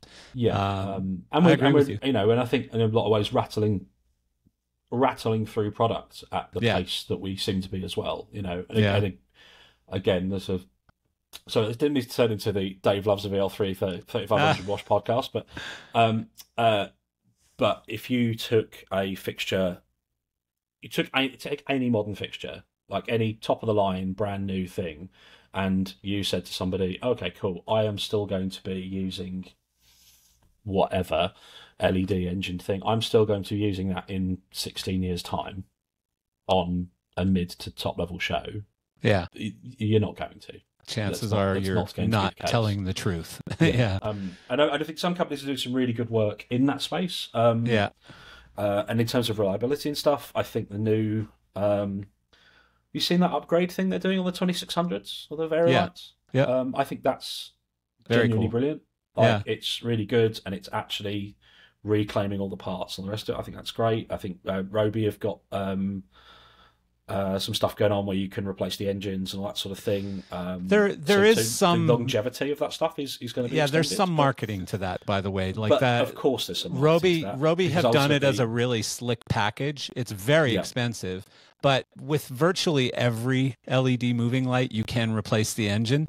Uh, Um, it's every just in many light cases anyone's you ever won't. made, you can replace the engine because I Yeah. still am in possession of a screwdriver and the ability to Correct. use it. Yeah, correct. Um, so just the fact that it doesn't pop out as a really slick module, Yeah. uh, you know, like they're trying to make that sort of the marketing of it all and make it seem like it's a It's- really cool yeah. thing. We're the only ones who do this. But and ask any moving light tech or Yeah. or manufacturer, Yeah, and or- they'll say I mean, you can ask, change our ask lamps. any ask any large lighting hire company who's been asked to change um, which engine is in the back of an Ayrton fixture. It's the same. yeah. Oh, we need Well- the high CRI once and this. Okay, great. Well, we'll we'll yeah, we'll just get the guys. to And by the way, how often are you changing those? like not very often. No. Not very Uh, often. So No, you know, and and plus by the time most of these LED engines will wear out, most I say because there's some that have worn out way prematurely, but Mm. by the time most of these will wear out, there's a way newer fixture that you're probably pretty focused on, and that well, this is it. that know. light's going to be gone. And then what we've got is a big pile of landfill, yeah, correct. which is yeah. a shame. Um, Well, but I yeah. mean, what are people doing with Martin Pals or Mac 2000s or like we have? oh, uh, I mean, I own. Hopefully, I own. Uh, hopefully the Mac 2000s. I mean, they generally will set themselves on fire, but hopefully they're burning them because if they just throw them away, there's every possibility someone will find them again. yeah. and none of us want that. I Um, I uh, I own Gear Source, and uh, we have a listing that I saw a couple days ago popped in. I believe it was Mac 2000 Wash XBs, and um, they're like, I think two in a road case was 145 dollars, and they had like a hundred of them or something. But you know, I mean, to someone somewhere, maybe that's got value, and maybe they'll Yeah. go, "Oh my god, I could buy twenty of these for freaking you know twelve hundred bucks or whatever." yeah, Um, and then pay the shipping. It's going to be about and what, yeah, you pay the shipping and- is going to be more than the lights probably. and then you know the first time you need to replace a board, that's going to be the price of all twenty that you just bought. And so yeah, I mean it's yeah. Or, or it's disposable, or it's or it's yeah, or it just goes. Oh, okay, well that one's done, and it goes into Yeah. the, into the big skip out the back, and I think the only reason that didn't happen to some of the Vari-Lites is because PRG bought the company. And so they looked at the VL5 and went, hmm, this thing is so super popular, or it was. And now it's kind of finally seeing its end. Let's put LEDs in them, you know? I and am I am yet to see one in real life, and I'm, Oh, I'm really? secretly A I've little seen I'm a little bit excited about it. yeah, yeah, I've because seen I, them. because I, I still think it's a great light. That VL5. Yeah, of course it is. really is. It's, yeah. it's, you know, It terrifies me the amount of money every single one of those units must have made over the years. Oh, insane, insane amounts of money. You know, I've had designers on here who, who, you know, from the earliest days on, like were using thousands of those things on like the Grammy Awards or the Academy Awards or, you know, the Olympics or whatever. And it was just like every show, okay, you know, the foundation of our lighting package is a thousand VL5s. And then on top of that, we want all this other eye candy stuff, right? I mean, it's, it's just crazy. Yeah. And, you know, like one designer told me that he said, I did the math once and I was responsible for, I can't remember the number, but it was something like $50 million in VL5 rentals alone. uh, Yeah. you know, just some insane number, rentals, and I was like, rentals, what? not even buying them. Rentals. rentals, yeah, Like, fifty yeah, million in um, VL5 rentals, yeah, Yes, Insane. Them. Although I did, I did turn up to a venue in Spain the about oh six weeks ago, and uh, the back truss had half a dozen Mac 2000 Wash XBs on it. oh And really? I just laughed. Well, do me a favor and ask them if they want another hundred. yeah, we'll do. Yeah, They could have Yeah. a real light show there. I don't know I if laugh the, because if I the laugh because I ceiling will sit there carry and just go right. I used to know this. How do you turn the lamp on? Ah, that's funny. That's hilarious. Yeah. So Yep. funny. So you know, you started uh you started this control company, Show Binary, which I think is a cool name. And you started it I think with a few partners. And Yeah. um so so um, tell me tell me about the need that created you to to start that company and when it Um, happened and all that stuff. There's a number of things. So um, one of them was uh, the the hilarious conversation occasionally at various places that Dave, can we just clone you and another one of you? Okay, Yeah. great. Um, and I think the just doing all that stuff properly is is not tricky. I don't think that's fair. Um, but everybody's got a slightly different opinion on how to do it, and and I think it's a part of the market and a part of the industry that um, there's a lot of people are still a bit scared of what Ethercon cable does. Yeah. You know, you sort of know we are the bit of five pin. It comes out the back of the desk. It goes into that light. Light wangs around. Everyone's happy. Going Ethernet and, and doing all that networking stuff is um, is still something that I think a, a number of people are um, uh, not confident with. Maybe Yeah, they're a little uncomfortable. charitably. Yeah, exactly. Um, so what we've we've been trying to do is basically go, okay, we're we're going to start a networking company and we're going to look after um, tiny wires based projects. Um, so we sort of we started off. Um, we were doing a few things with uh, an LD out the UK called Phil Supple. So we look after a thing called um, uh, oh, what's it called now? Leonardslee lighting. But basically, you know, these big Christmas trails. You know, Okay, the, the sort yep. of the Harry Potter esque things. But Yeah, we, yeah. we started off with one of those, and we uh, went down the first year and, and, and sorted some bits out. And the next year, went right, we're going to network this whole thing. We're going to put a network across the entire site. So we go, um, and we're on our fifth year of it now, and, and we do a kilometre and a half of fibre optic cable around the site, armoured fibre optic cable because they've got deer and wallabies that chew on the cable. Because of course they do. Yeah, I, why not? yeah. Um, but it means that we can suddenly start going, well, we can wander around with tablets and log into the MA on PC and tech everything, and everything's connected and controlled from one place rather than all being these little sheds with an MA in, or a shed with an EOS in, or a shed with a playback device of some, some Yeah. kind. yeah. And then, well, you know, then we can, and we sort of going, well, we can do three. We, we did like one time coded show. We could do three now because we can run QLab from there and spit it all out over Dante and we can pick up the time code in the office and we can send the audio out on site. And yeah. so we started sort of, we started there um, and then doing, um, you know, a few custom build things like some LED projects and stuff, you know, pixel strips and pixel tape kind of bits and pieces. Um, but our background has always sort of been in uh, between me and the, the, and the two businesses. So uh, Dom Dom Smith, who's um, an LD in his own right, Dom and and PJ and PJ. You, PJ you should have on here by the way. it's a fascinating man. Ah, Um, uh, PJ, uh, connect big- us. I will. Um, big in the architectural space, works at Ayrton at the moment. Um, did uh, the vast majority of the work on the Sphere in Vegas. in terms Oh, of wow. Technical technical design. Big. Yeah. Um, so yeah, um, we sort of got together and uh, just sort of trying to get, ev- uh, you know, trying to do those those projects that are just maybe slightly out of reach of what most people want to be be doing. There are there's a lot of kit out there. There's some amazing bits of kit, really really clever stuff, but it's um, a lot of people invest a lot of money in in equipment and maybe don't quite know what to do with it. So uh, a big thing that we're now pushing, and you know, when when I was down at the guys at, um, at Fuse's new shop in Lititz the other day, yeah. doing yeah. some training with them. So doing uh, doing training on networking equipment, um, some of it quite specialist, some of it like very hyper focused in on like the Luminex products. That's what they own. Yeah. Um, but also sort of going through with um, with with their crew chiefs, with their technicians that are using stuff, and going, this is what we consider to be best practice, and um, this is what an IP address is and does, and um, you know, this is how we look at what different fibers look like. Um, you know, and, and sort of going through and trying, you know, a big thing for us is is moving into that training space, and a big part of that training space is is you know empowering people to have some knowledge about this kit. Yeah. Um, you know, it makes because, a lot of sense. You know, it makes Yeah. a lot of sense. And I mean, as again, one thing that I don't think is going to slow down anytime soon is is the size of both on the install side and on the the temporary rental uh, side as well. But the size of these shows, you know, like I I recently had Ola Melzig uh, Eurovision on the podcast, and you know, this year's MA system network, whatever you want to call that Yeah. monstrosity. I can't remember how many consoles it was, but it was a lot. It was a lot Yeah. of. It was like seventy-two universes, or no, it was more than that. Uh, I mean, it was that.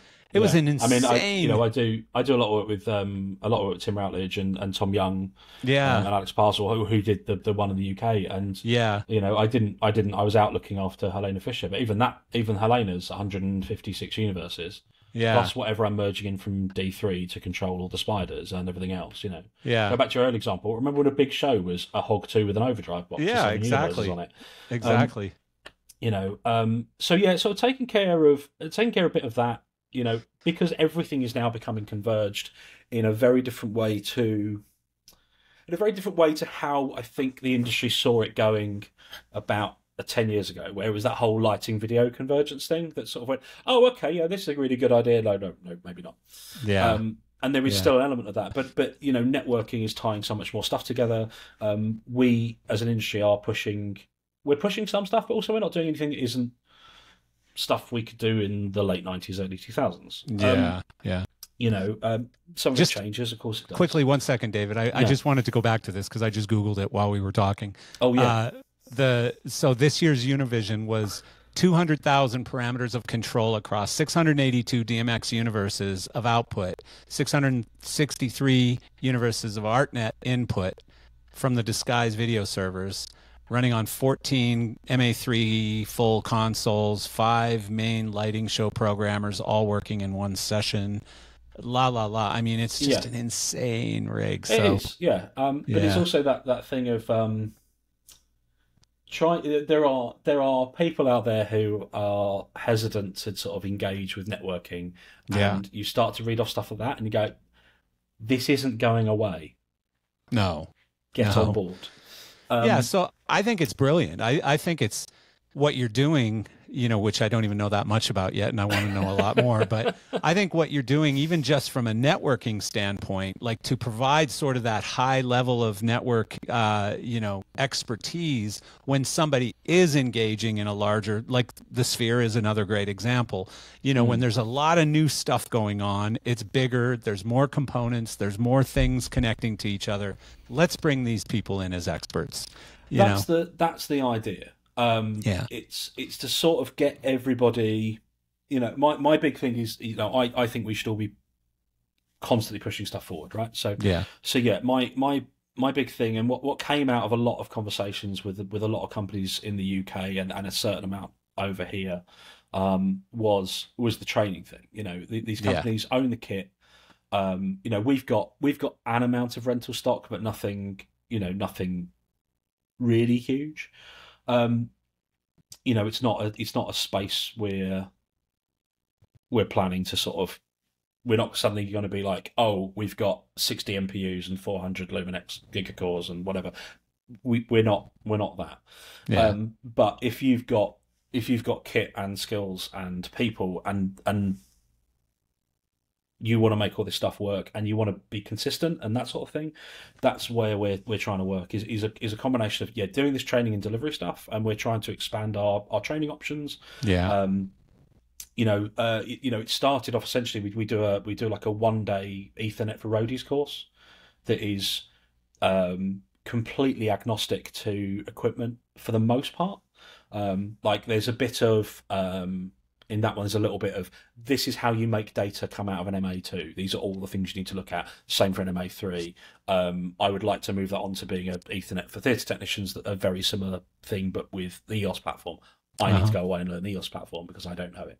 Right. Um, you know that sort of thing, and then yeah, Fuse we did a two day thing that went a lot more in detail into like the Luminex kit and how Araneo functions, and um, and again some more of that best practice stuff. But but the the one day thing is very much it's it's not there to make everybody a systems technician overnight. yeah. It's there to get everybody comfortable with Ethernet in, or at least start to go down that road to get them comfortable with it in the same way that people are comfortable with five pin data. It's an immersive orientation. It's an immersive orientation. I detest Yeah. the word immersive. It's really yeah, but but yes, um, yeah. you detest it- the word immersive. I just because everybody uses it, Yeah. and it's Yeah. eighty percent of the time absolutely not true. Yeah. Yeah. Um, Somebody told me once any anybody who puts professional in their name usually isn't. Anyone who puts international in their name is usually mine- isn't. Uh-oh. Sorry, You lost my, audio. no, my computer just had a moment. Uh-oh. on. Um, Ah. no, it's all right. Yeah. So uh, beyond the the training thing, you're oh, so renting out. thing. Yeah, you're Um, renting consoles and Li- gear. Little, little bit of rental, um, and a little bit of, uh, you know, uh, is, is a bad word, consultancy. Yeah. But um, you know, we've got a couple of projects on at the moment. We're doing um, some sort of arch- architainment, exterior architectural. Um, how do we control this thing? Oh, okay, Yeah. you do X, Y, and Z. Um, we're working a show at the minute that's um, we are just going in to do the networking on a show, like a big. Um, uh, I can't say too much about it for yeah. you know various reasons, but essentially, big show. Everything's talking to everything else. We are just going into essentially network administration. Oh wow. Um, That makes a lot of sense though. Yeah, because we're looking at forty plus switches, and automation needs to talk to D three, needs to talk to lighting, needs to talk to audio. Yeah. all of that stuff um, on a scale, and it's something that is there. It is. Thank you very much, and everyone walks away, and it's run with show stuff. Yeah. So yeah. so starting to do that kind of level of thing where we can go and we can do the design, the planning, the um consulting on what what systems do you need, uh what gear do you need, um that side of things too. So so yeah, it's a bit of a it's also a bit of a you know we're quite uh we've only sort of been operational about three years and we've really the last 18 months has been sort of pushing pushing that and pushing that agenda. So we're you know still a little bit of a little bit of we can be a number of things to a number of people and we're still trying to kind of find our place in the world. Because it, it's a tricky thing right? Because trying Yeah. to because charging for to turn up and go here is a load of knowledge and it's not a tangible a tangible thing in the same way that renting out kit is is is Yeah. a very interesting space to be in Well, you know what it's worth, you know, once something's failed, you know, and, Oh, and you'd pay anything for it. But going into a project, it's hard to justify somebody comes in and says, yeah, for 40,000 quid, we'll, we'll come in and have experts here making sure that the network uh, is put together effectively. And, yeah uh, absolutely and, and, you know and I they see that not, as an, um, a, a, an unnecessary expense at that moment, perhaps. Or No, could. absolutely, and I Uh, think you know we're you know we're we've all been around long enough to understand that you know it's not going to be. I'm not going to have a person on every show that goes out. Yeah. like that's not a thing. Um, but we would like to be moving into the space where we're sort of managing those those bigger things, those weird, those weird things. You just go, I know that someone needs to deal with this, Yeah. but no one is willing to deal with this, which I think is is something that we have. Certainly, I've found on big tours is that yeah, Yeah. There's, there's an amount of integration that then just falls back on either the lighting network guy if you've got one, yeah. or everybody has to have a bit of a fight about it and make it work somehow. Um, and I think another thing about it is is you know, like I say, these companies have brought this kit, and a, a lot of the time, you know, a lot of the time might be a bit um, a bit overzealous, but you know, kit will be specified by maybe the LD, and they are not necessarily the best person to be in that position to be making those decisions Yeah. you know, oh, I have to have all my MPs in front of the house. Okay, Yeah. why? Now we have to run the snake in order to flash the rig out. da, da, da. Or it has to all come out of MA nodes. Okay, cool. But then that's that's a lot of money that then gets out at the end of a life cycle. So Yeah. why don't we go agnostic to that, and then it can be used on any show, and Yeah. or um, okay, cool. We've we we own an amount of I don't know passport things. Okay, cool. How what's what's our best way to go about deploying that? Yeah. You know, how do we look at building standardization? And you know, that's that's something we'd we we're sort of keen to work with with companies to go. Okay, cool. How do we how do we help move standardization of how we do this as an industry forward?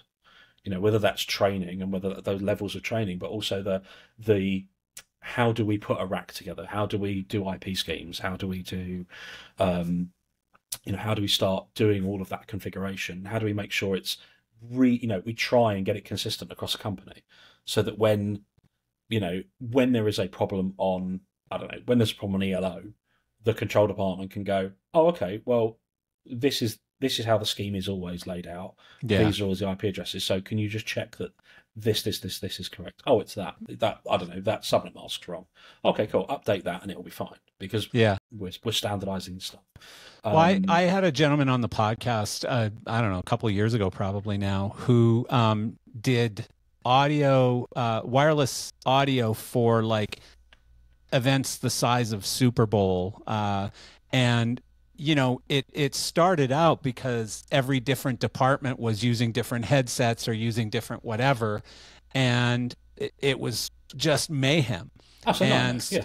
So what they did is they initially came in and just made sure that everything worked with everything else, and then they just started packaging the whole thing and saying, "Here, you know, we need wireless for this department, this department, this department, this department," and they just put the whole package together and made sure that everything worked and there was no, you know, wireless, whatever you call it, interference, crosstalk, Yeah. whatever, and um, you know, very specialized, like you said. Yeah, um, you know, and, and going going back to our earlier conversation, yeah, all those departments, yeah, are getting so much more specialist. Yeah, and, and yeah. we're just sort of trying to grab this particular bit by the horns. Yeah, do you Yeah. do you need some programming done? Absolutely, we can supply with the programming. Mhm, Do you need something yeah. to tour? We can absolutely get something to tour. Well- but for the most part, it's you know, it, it's the you know, we, we what we don't want to be doing is we don't not sorry, don't want to be doing. We're quite happy to do whatever, but um, it's the the things that companies will comfortably take under their wing and deal with Yeah, great. When it starts to get tricky, when you start to go, we need to do this thing, it's a bit weird. yeah, Or we need to do wireless over 500 meters, but it needs to be full data. Can you come and have a chat with us or Yeah. us some kids do?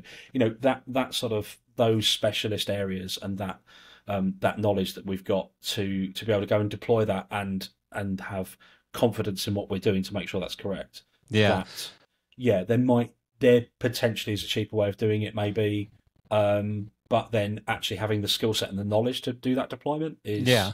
is a very different thing Well, then the other thing is like all the peripheral stuff. You know, like I, I know ACT over here in North America distributes a product, and I can't remember what it's called, but it is um, it allows you to remote into oh uh, the and bridge yeah, the bridge. Yeah. And so even just understanding that product and how it works with the the network and the system and everything else and being able to make sure that they're using that effectively or properly you know i mean it, it reminds me any technology especially new technology requires a company like what you're talking about to sort of know everything all the nuances all how to put that whole thing together as opposed to you know well there's a cool component or there's a and it reminds me of ai i. Talk about ai a lot on this podcast. you do talk about ai a lot. I, but you know the thing about ai i love it first of all. I really do and i think obviously we're not going to stop the bus so you might as well figure out Uh, it's you not know, going away. yeah how not Yeah. to get run over by it. And but but the cool thing about ai as an opportunity for especially those young kids right now you know is just being able to go to companies and and help them understand how to best incorporate AI, how to mm-hmm. engage it into your business. What are the areas of your business? And I talk to these experts with my business. I talk to them all the time. You know, okay, what do you what do you think you should employ AI on in our business? And they'll look at how our business flows and they'll say i think logistics is a good area. Maybe here is a good area and here's a good area. That's where you should be investing money. And then they'll come to me with some ideas and prices. You know for $75000 we'll build you this cool widget that does this thing right? And so I look at yours similarly. I mean, you're just you're taking Yeah. a niche area of an entire show and and it's an area that again if it goes wrong is very expensive uh, and if it goes right it's a beautiful thing and you're just making sure it goes right you Yeah. know it's pretty Yeah. straightforward you know, and that integration of stuff, you know, if you start to look at even, um, even if you start to look at like big Broadway style musicals and that sort of thing, where where everybody's in a really tight space and, and all Mhm. that sort of thing, actually to to be able to go, well, actually, why don't we run? Why don't we run four bits of fiber and everyone can just be on that and have a system and have PoE here and that can do speakers or you could have a yeah you could just put a camera there. Do you need a camera Yeah. there? We'll just put a camera there yeah um, you know, and, and actually opening up that thing to how some of this technology and, and, and what, what is currently available to us, um, that we are maybe maybe also less, you know, a lot, and some people just don't realize this stuff's out there, and actually the, the integration of that isn't um, uh, isn't hugely expensive and isn't uh, it, it's hugely beneficial to to show yeah yeah you know, no being makes able sense to put cameras everywhere, do your do your recording, do your um, you know, just being able to send MIDI and time code over IP to the lighting department because it's just easier than. I find it hilarious on on ELO. I've got a 150 foot two quad fibers that go front to back that can do, you know, capable of doing 10 gigabit a second. I've also got three bits of three pin cable lashed to it to do comms and time code. Huh. Um, interesting yeah, you know, so just sort of trying to go, well, actually, we, we can we can make this more um more efficient, certainly. Yeah. you know, and and especially when you're starting to do those installs and things like that. Yeah, you know, Yeah. being able to, to converge everything is is really interesting and and cheaper because suddenly if you if I've got one switch, if I've say I've got two switches front of house for lighting, I've got two switches at stage right dimmers, I've got two at stage left dimmers, and then the audio department have got the same, and the automation department have probably got half a dozen. Well, actually, that could be six, couldn't it? That could just Yeah. be that could just be six whatever's and yeah clever use. Yeah, why do we have to or be smaller separate? ones or yeah, yeah it could just you know integrate into that. So yeah, um, yeah, it's interesting. It, it- So, it's, uh, how are- how are just you go- just trying a little bit of trying to find our place in the world a bit. I think as well. I get it. Yeah. Well, new things are always a little tough to to you know find your ground and and carve out a niche, carve out a space. You know why why do I need you? This is the way we've always done it for seventy two years in our business. You know, um, how are you finding the balance between running that business and running your road business? You know, being out on on Um, tour. At the moment it's uh the moment it's a comedy goldmine because uh, like this morning this right before we were on this i'm trying to uh, trying to be on a zoom meeting with everybody back in the uk me and the project lead uh out in like hong kong so Yeah. um just trying to line all of that up on a daily basis Yeah. is, is hard um i think that um i mean the other you know the it's sort of okay when I'm a bit more at home, but it's it is difficult. But the other thing is, it's I, I you know I I've toured this band for a long time. I really like touring this band. I really like being on tour. Yeah. Um, so I've got no real plans on on living in a world where I don't yeah. occasionally take a tour out. Yeah. Um, uh, had we known we were going to be this busy right now, maybe the answer would have been not to take the tour. But yeah. um, yeah, getting getting the balance. But I've got uh, a couple of really, really, really good business partners. Um, uh, we've got some freelancers we work really closely with who are exceptional. Um, so you're sort of getting that getting that right and getting that balance right. And it's all you know. Ultimately, we we started a company for a number of reasons, and and a big one was to um, basically just have an excuse to hang out with some people we quite like and do some cool stuff. That's cool. So we we'll just keep doing that. Does anyone Oh, work full time in that business, or is it all just Uh, kind of get together as needed? At the moment, it's all it's all a bit get together as we need Yeah. it, but it's it's looking a lot more like I will probably go full time yeah, sooner rather than later. yeah, Um, but again, Well, that's it a good completely thing. depends on. It is a good thing, and also you know, I I could go full time and I could do you know I could just invoice this tour. road stuff through Yep. through that company, and it doesn't Yeah. really, um, you know, function make it that much of a difference. Um, Yeah. Well, So, there's yeah, so many it's- there's so many collectives out there that that do their own thing and this thing, you know, and Yeah. and there's no conflict and nobody gets upset as long as you go into it knowing that that's how it's going to work and uh, Yeah, absolutely. So I don't Um, think that's a big problem. Yeah, because you know, like the, uh, PJ, you know, PJ has a uh, his his coat's buttons up tightly over a number of other duties, and Yeah. um, uh, you know, Dom's, uh, you know, along with, with like Johnny Barker's running Neon Black, and uh, you know, as a design collective. So um, yeah, and, and and the other thing as well is that all sort of feeds each other as well. You know, if they get an architectural project, then we can go, oh, okay, cool. Well, what are we doing about control for that? Yeah. So there's there's an element of that, and, and but yeah, having having a team around you, you sort of trust to just go, can you can you deal with X, Y, and Z, and we're knowing knowing enough of the same people. That Venn diagram of who do you know that does this, who do you know that does this, just Mm, allows that yeah. to be really kind of easy and straightforward. Um, yeah, that makes sense. but yeah, so not not quite full time, but yeah, it's um, uh, fingers crossed. What I, mean, are I would like I would like an excuse to spend a bit more time at home with my dog. So Yeah, I get it. With your dog. What about your you have a significant oh, other? and my other half, obviously, but Yeah. yes, Um, my new you might not want to forget about yeah. them. No, it's true. I will, I will get in trouble for that. You said Um, you wanted to spend more time with your dog. It's true. Okay, Um, perfect. You can go live in the fucking doghouse with your dog. Yeah, yeah, yeah, accurate. Yeah. Um, Perfect. yep. More room for me in the master bedroom. Uh, sorry, it's not called master bedroom. It's called main bedroom now, or whatever it's called. I forget. Master seems to have gone away. Um, where do you see technology going? Like, make a couple predictions on technology as it relates to our industry. Um, uh, I think I'm fairly safe in saying that until AI learns to pull points into the air, that we're all relatively safe. Yeah, Um, exactly. Yeah. uh, where's technology going? Um, I can see there being uh, a lot more of this integration stuff, which is you know entirely self-serving. I realise, but Yeah. um, but yeah, everybody talking to everybody else is going to be a, is going to be a much bigger thing. Um, I think more and more so we're going to be relying on networks to shift essentially everything around.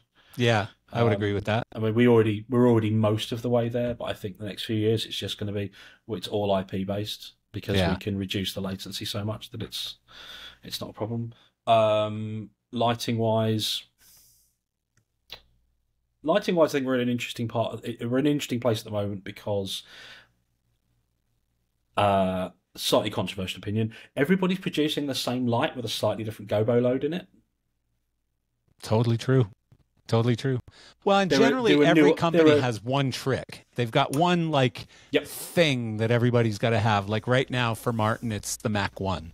You know, for Oh, Mac Air, great. Mac for a brilliant bit of kit. it is a very I, cool I light. just I, I saw uh, I I saw I saw it in uh, Frankfurt a couple of years ago. yeah, And the first thing I said to Ben was, "You're going to sell thousands of those." yeah, yeah. Well, Um, I talked to Ben a few days ago. Or no, I didn't talk to Ben. I talked to somebody else in Martin, high up in Martin, and I won't Yeah. mention his name. And uh, I think he told me that they've sold. I think he said forty thousand already or something. I am At no, this point- I'm in no way surprised. Yeah, I mean it's Um, it's a large number considering it's only been out for a couple of months. Yeah, but I but I think it's it's what's cool about it is that it's um, I think it's sort of it's a brilliant little rock and roll gag because you can put them you throw them around like glitter, right? But um, also it's it's sort of the death of the par can and scroller and that sort of thing. Yeah. Finally, that you know you can just tuck it away and it moves. Great, Yeah. ideal. You know, well, and I what is it to have in in England? Is it like twelve hundred quid or something like that? Twelve or thirteen hundred a, quid? Like in the head, but yeah, US, it's fifteen hundred dollars. You know, yeah, it's not a lot, of, not so a lot of money. You can throw them everywhere. Lovely. Yeah, yeah. Um, Just the right product at the right time, doing the right amount of stuff. You know, with the right Yep. intensity. Like it didn't need to be the brightest light in the rig, but it needed to be bright enough. And Mhm. yeah, big win, huge win. yeah, but huge win. so yeah, Um, I agree with you I though. think Everyone Ayrton coming up with some great stuff. Yeah. some really nice products out there at the moment. Um, I had 90 of the iFortes out last year on Helene, and I think we swapped one yeah, in nine months. yeah, And yeah. they That's a were nice on as well. Nine, if they weren't in a truck, they were on. Yeah. So like, yeah, um, uh, you know, so there's there's a lot of. Do you that. use them I for follow real- spots as well? Yeah, Yeah. not on not on ELO, which is great. It's the best one of the best things about this job. No, no follow spots. Oh, really? None. Yeah, we we, we did it the first tour. So um, so Tim Routledge is just the light designer on it. Um, has been since sort of the the whole comeback thing in what 2015, 16. Yeah. Um, uh, and then we had we had the lovely Matt Pittman come and light the first sort of tour while Tim was doing Beyonce. We had three follow spots, and they basically locked them off. And every time Jeff took a step away from the microphone, they faded off because Huh. that's what they wanted. So we just Interesting. stopped carrying follow spots. yeah. What for? Yeah. Yeah. Um, Just key lighting. yeah, uh, the i the iFortes for follow spots are great. Um, uh, yeah, really good, really consistent. Yeah. Like, just yeah, really nice. Um, Yeah. Have you seen this macula thing? Macula. So there's essentially it's a um it's European based. I can't, can't remember where, but it's uh it's a slightly different version of a RoboSpot system. It's still the sort of handlebars and camera, but it has a little bit more of the tying in of multiple units that you can do in the way that you can do on Follow Me, rather Okay. than rather than the way that you can do on um, RoboSpot Interesting. which is quite cool. Uh, they've just put it Macula, on- like M A C U L I A. think so. Yeah, I'd have to look it up. Huh. Um, Yeah, but they just I know they just put it on. Uh, they just put it on Hamilton uh, in the UK for their for their touring rig, and um, uh, yeah, I had, I had a very brief chat with the LT the other week, and they're very happy with it. And um, but yeah, I think that's interesting uh, because it's completely fixture agnostic. I think that's quite interesting. Ah, yeah. So That's suddenly you're one. not tied to it being, um, you know, a Best Boy or a uh, or an iForte or a BMFL. Um, Yeah. How how they will deal with it in if it ever comes to the US, I don't know, but um, yeah, I'm looking at it right cool. now. I I wonder if they have distribution in the U.S. yet. Uh, I don't know Yeah. anything about this one for some reason.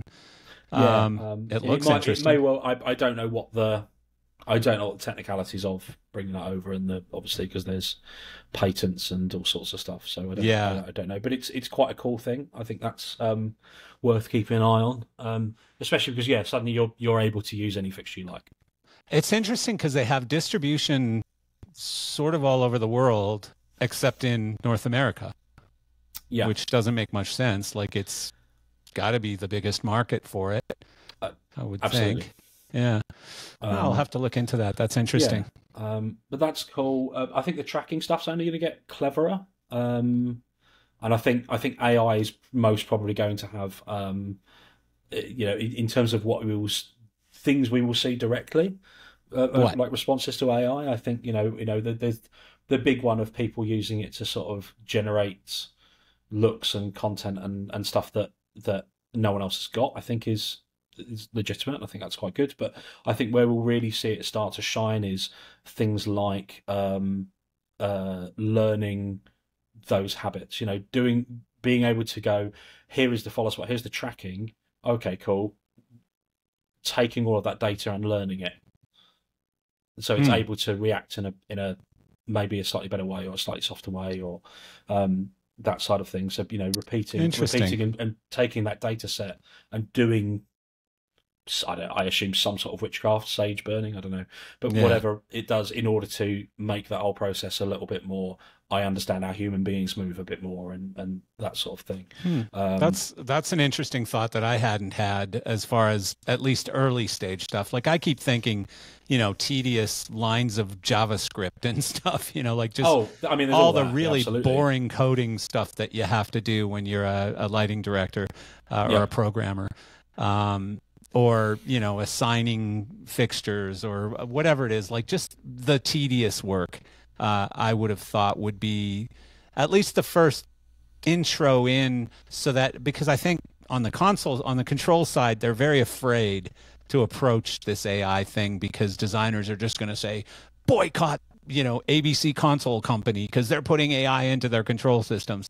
Um, and then uh, you know on the other side you know obviously designers and directors and programmers don't want to lose that creative control over the show or whatever by sticking ai in and saying what do you think you know and uh, suddenly rendering themselves useless Well, I mean, the, the, that's the that's the thing. All of it though is that you could go, "What do you think?" But it can only AI can and does only function based on things it has previously seen or worked with. It- Right, It, yeah.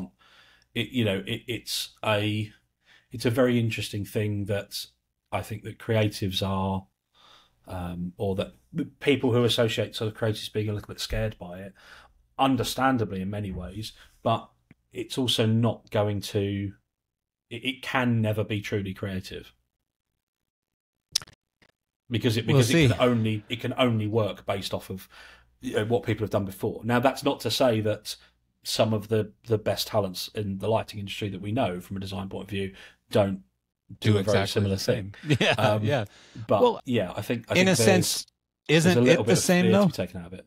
But isn't Yeah. it the same? Like, aren't isn't everything we do creatively a combination of our past experiences, I other mean, things yes. that we've done, things we've seen, things we've heard, you know, uh, whatever it is, what's going on in the news right now? I mean, just all sorts of outside senses coming in at us. Mm. Um, I don't know. I just I feel like I feel like our industry, you know, is is really waiting for AI to come in and and grab a hold. Yeah. And I think we got to just decide where it's going to grab a hold and and where it can benefit us the most. Yeah. Uh, because I think the jobs that it's going to replace probably needed to be replaced. The jobs that are most creative won't be replaced. I don't believe. And so, you know, to me, like that's going to be parts of jobs. That's going to be like lines of tedious code.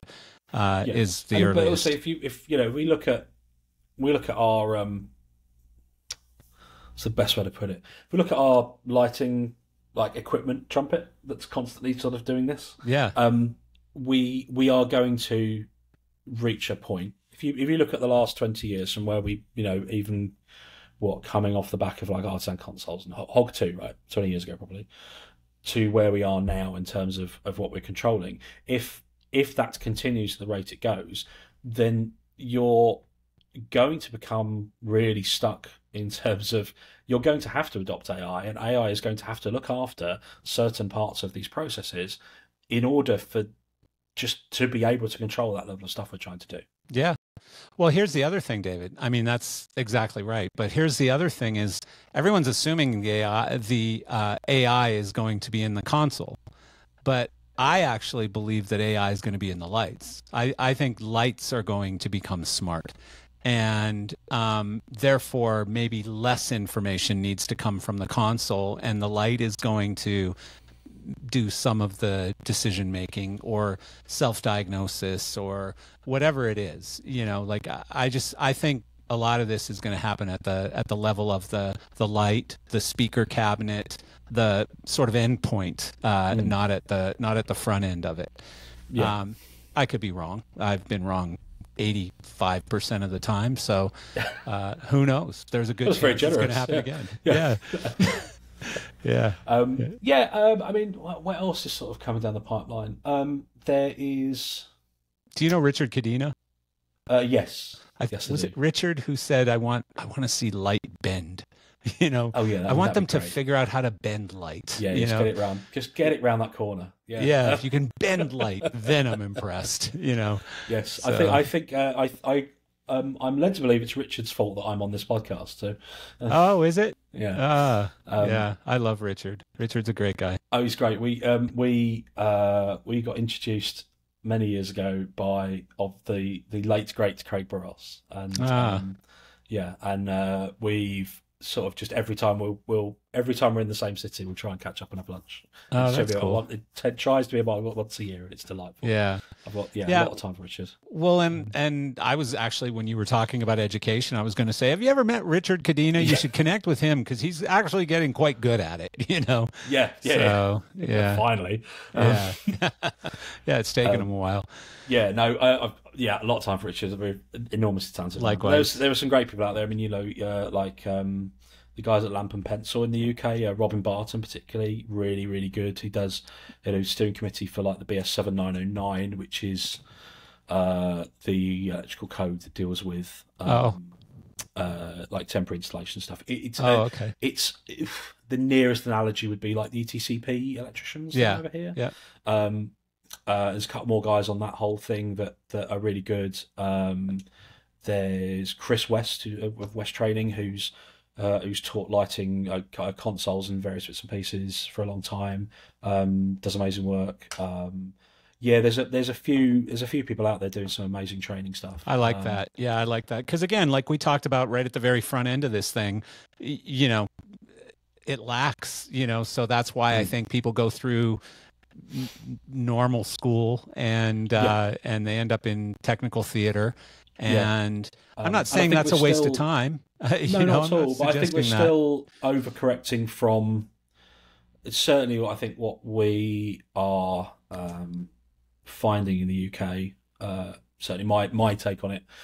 Um, there are a lot of people going to drama school. There are a lot of people uh, being trained to be designers or associates, and there are a lot of people doing more technical based courses that are very geared towards programming, um, Mhm. and that's great.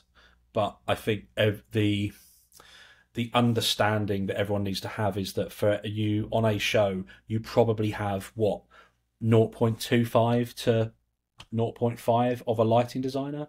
Yeah, You've probably got the same ratio for a programmer, and Yeah. then you've got like what four or five lighting technicians.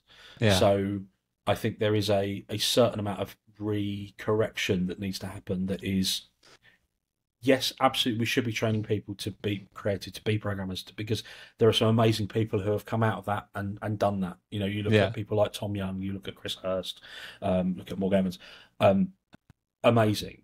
But they are a very select few people in what is quite a wide um, uh, intake out output Yeah, of, of agreed. university students. And uh, what I think um, we're finding and it is, I need someone I can hand a plan to and go, can you hang that truss and plug it up?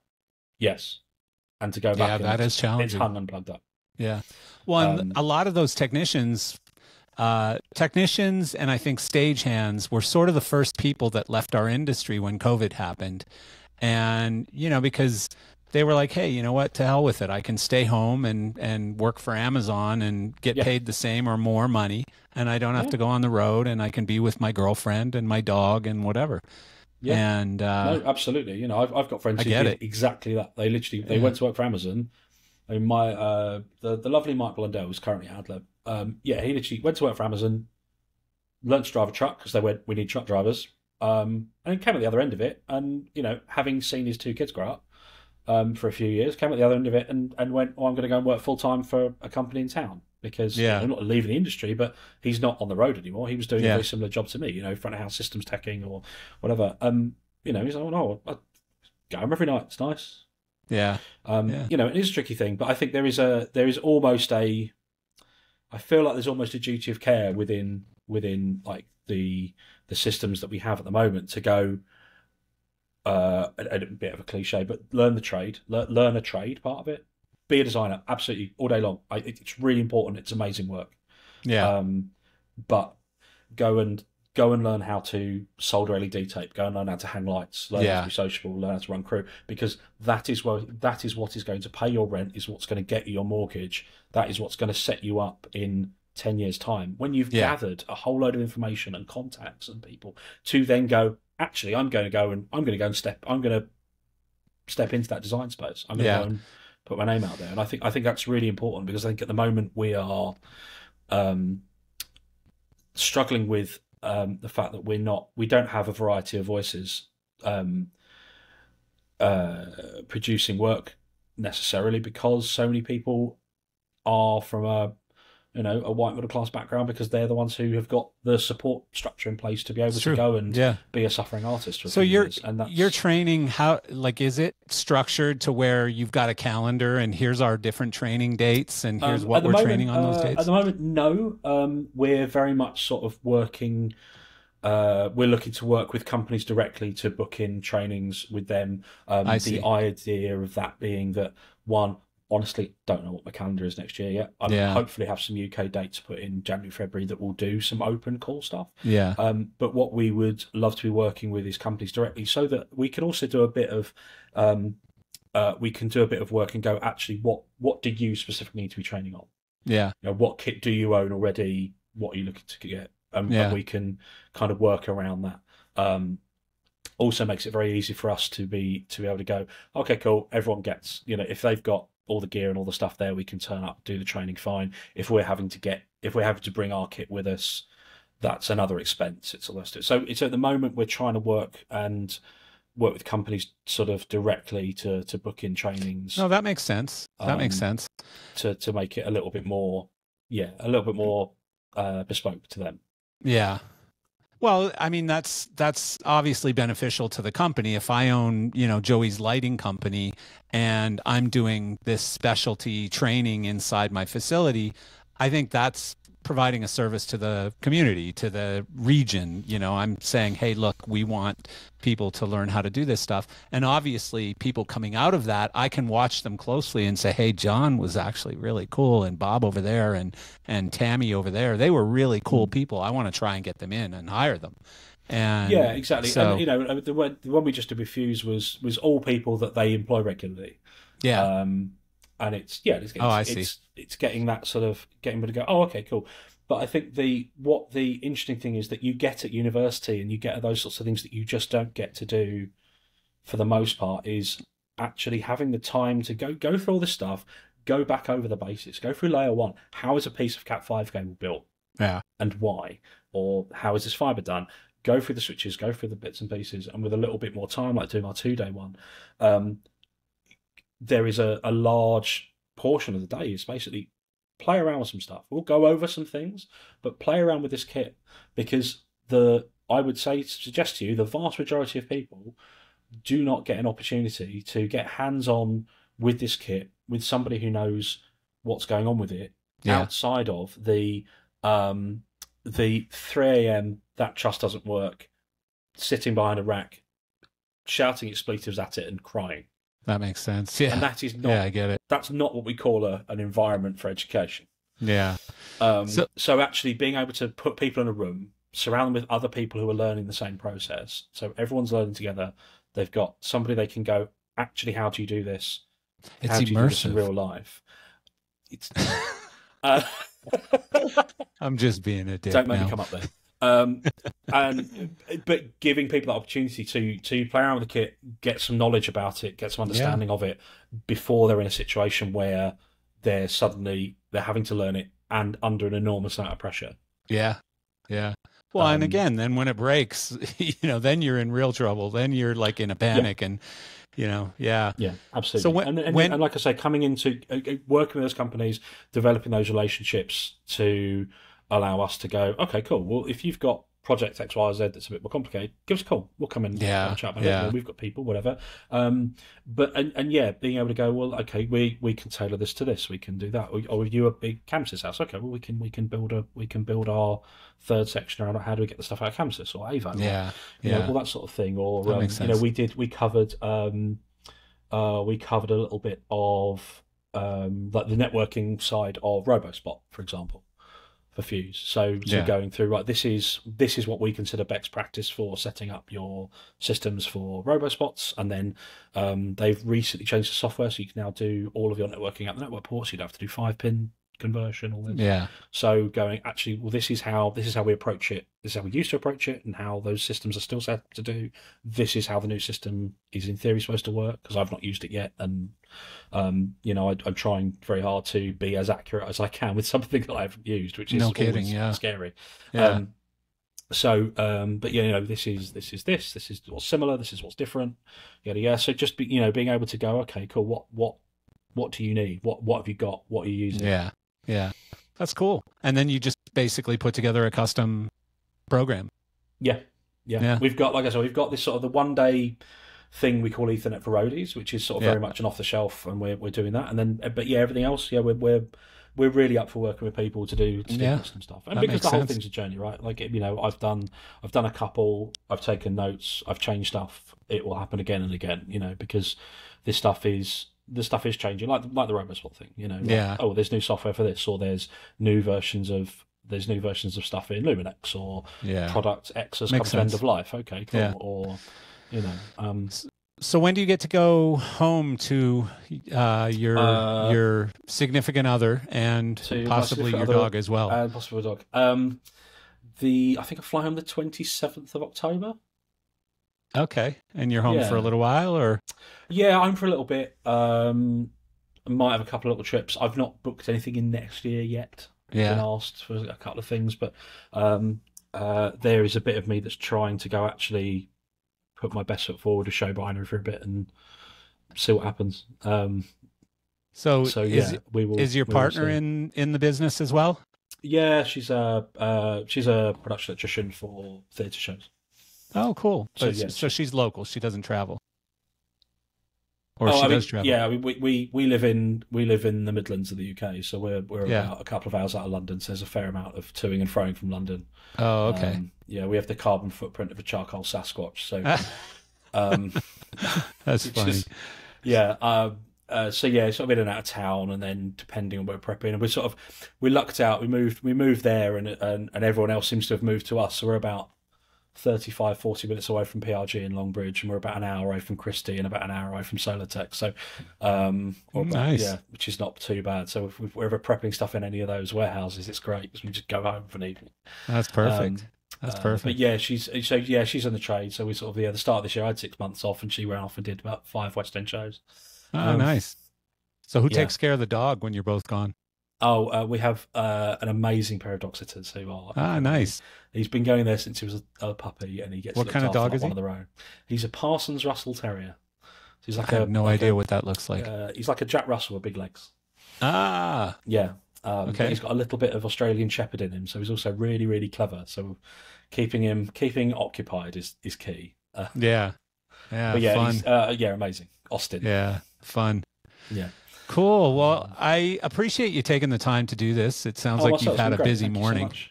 yeah. Oh, I've had a little bit of a busy morning, but I now have uh, I now have an afternoon and a day off tomorrow, so Ah, nice. I will be visiting the Sign Museum apparently, and I imagine that there'll be, like I say, some bar somewhere with beer and chicken wings. So Perfect. I'll be quite content. You're not getting up to Western Canada, are you? Uh, no, we just we did a we did our one show in Vancouver, and then we did Toronto a couple of nights ago, but that's that's it. I'm Oh, afraid. okay. Yeah. Well, I won't see it shame because I love it up there. It's really delightful. Yeah, yeah, it's Yeah. nice. It's a nice time of year too. I mean, it's a little Oh, cold yeah. today, but it's been it's been beautiful. You I know, am it's been, fine with it. Yeah, yeah. You like cold? I, I like the I do I, I don't really like the heat. I think is more the thing. Yeah, Um, yeah, You know, I'm I'm very much still this blonde and ginger, so I, yeah. I have to put um, factor fifty on to open the fridge more than go outside. so it's- England, England is a good place to be when you are allergic to sunlight. That's for sure. It, it is, yeah. But then the Yeah. problem is, like, if I'm there, then people go, "Oh, come on, come and do a European tour," and then you're in Italy and it's forty Yeah. degrees, and I'm just Yeah. going, "No, no, No. absolutely not." That's funny. Yeah, m- Yeah. my my son raced in England all last year. He lived there, and um, I just remember getting the calls from him like, "Dad, like you, Dad, you don't change the tires." understand what it's like Yeah. to start a race on dry. Then it's wet. Then it's a little bit wet. Then it's dry. Then the sun comes out. Then it's pouring rain, and you know." Yeah, yeah, He's yeah. like, it's unbelievable. like, I You should don't try, know what try, to you dress should try for. doing festivals in it. Yeah, that's Yeah. true too, huh? That's true festivals too. before we had IP rated fixtures. That was uh, yeah. That's Oh my Um, god. With uh, all those uh, all those uh, inflated things, light Yeah. fixture condoms. Yeah. Yeah. awful, awful. I did a many years ago. I did a show on the South Bank in the middle of February, the South Bank of the Thames, Ugh. middle of February, with like seventy odd sharpies, and there was me. I can't remember who's crew chiefing it, and then the, the lovely Praderi Baskerville, who, who's uh, Roger Waters LD, Oh, looking know. after it, and and yeah, we were just putting these things out on the South Bank, at the condoms are flying off, and the, the tent they'd sent us to put the dimmers in. We literally went away for fifteen minutes to go a bite to eat, came back, and the tent sort of just broken into tiny pieces. Um, yeah, it's like, oh, what are we going to do Yeah. about that? We're going to get a runner. We're going to get a van. We're going to put the dimmers in the van. Oh my goodness. What yeah, a no, mess. uh, yeah, England, England weather is yeah variable, yeah. variable at best. Um, yeah, no, my kid, and you know, he's a knucklehead from South Florida, and so he's like the only kid over there in you know end of October or early November in shorts. Like he's got shorts and a t-shirt on, and you know, no socks and flip flops or whatever. And Yeah. people are like, "What is wrong with you?" yeah, you yeah, know, there's something him, wrong him with you. and roadies. Just yeah, the shorts yeah. department. Yeah, Yeah, it's Um, crazy. It's crazy. Yeah, All right, my um, friend. Well, uh, well, thank you so again, much. thank you. Um, yeah, I will yeah, it's been hopefully interesting. catch up with you at LDI? Question mark. Yeah, I'll be at LDI. We're doing something fun at LDI that uh, we're going to announce in the next couple weeks. But Geezers of Gear presents blank, and it. uh, it'll be a blast. It's going to be fun. So, Fantastic stuff. Well, I look forward to it. Um, yeah, right. Well, look, thank you so much for having me on. and you. All right. Thanks. Bye bye. Take care.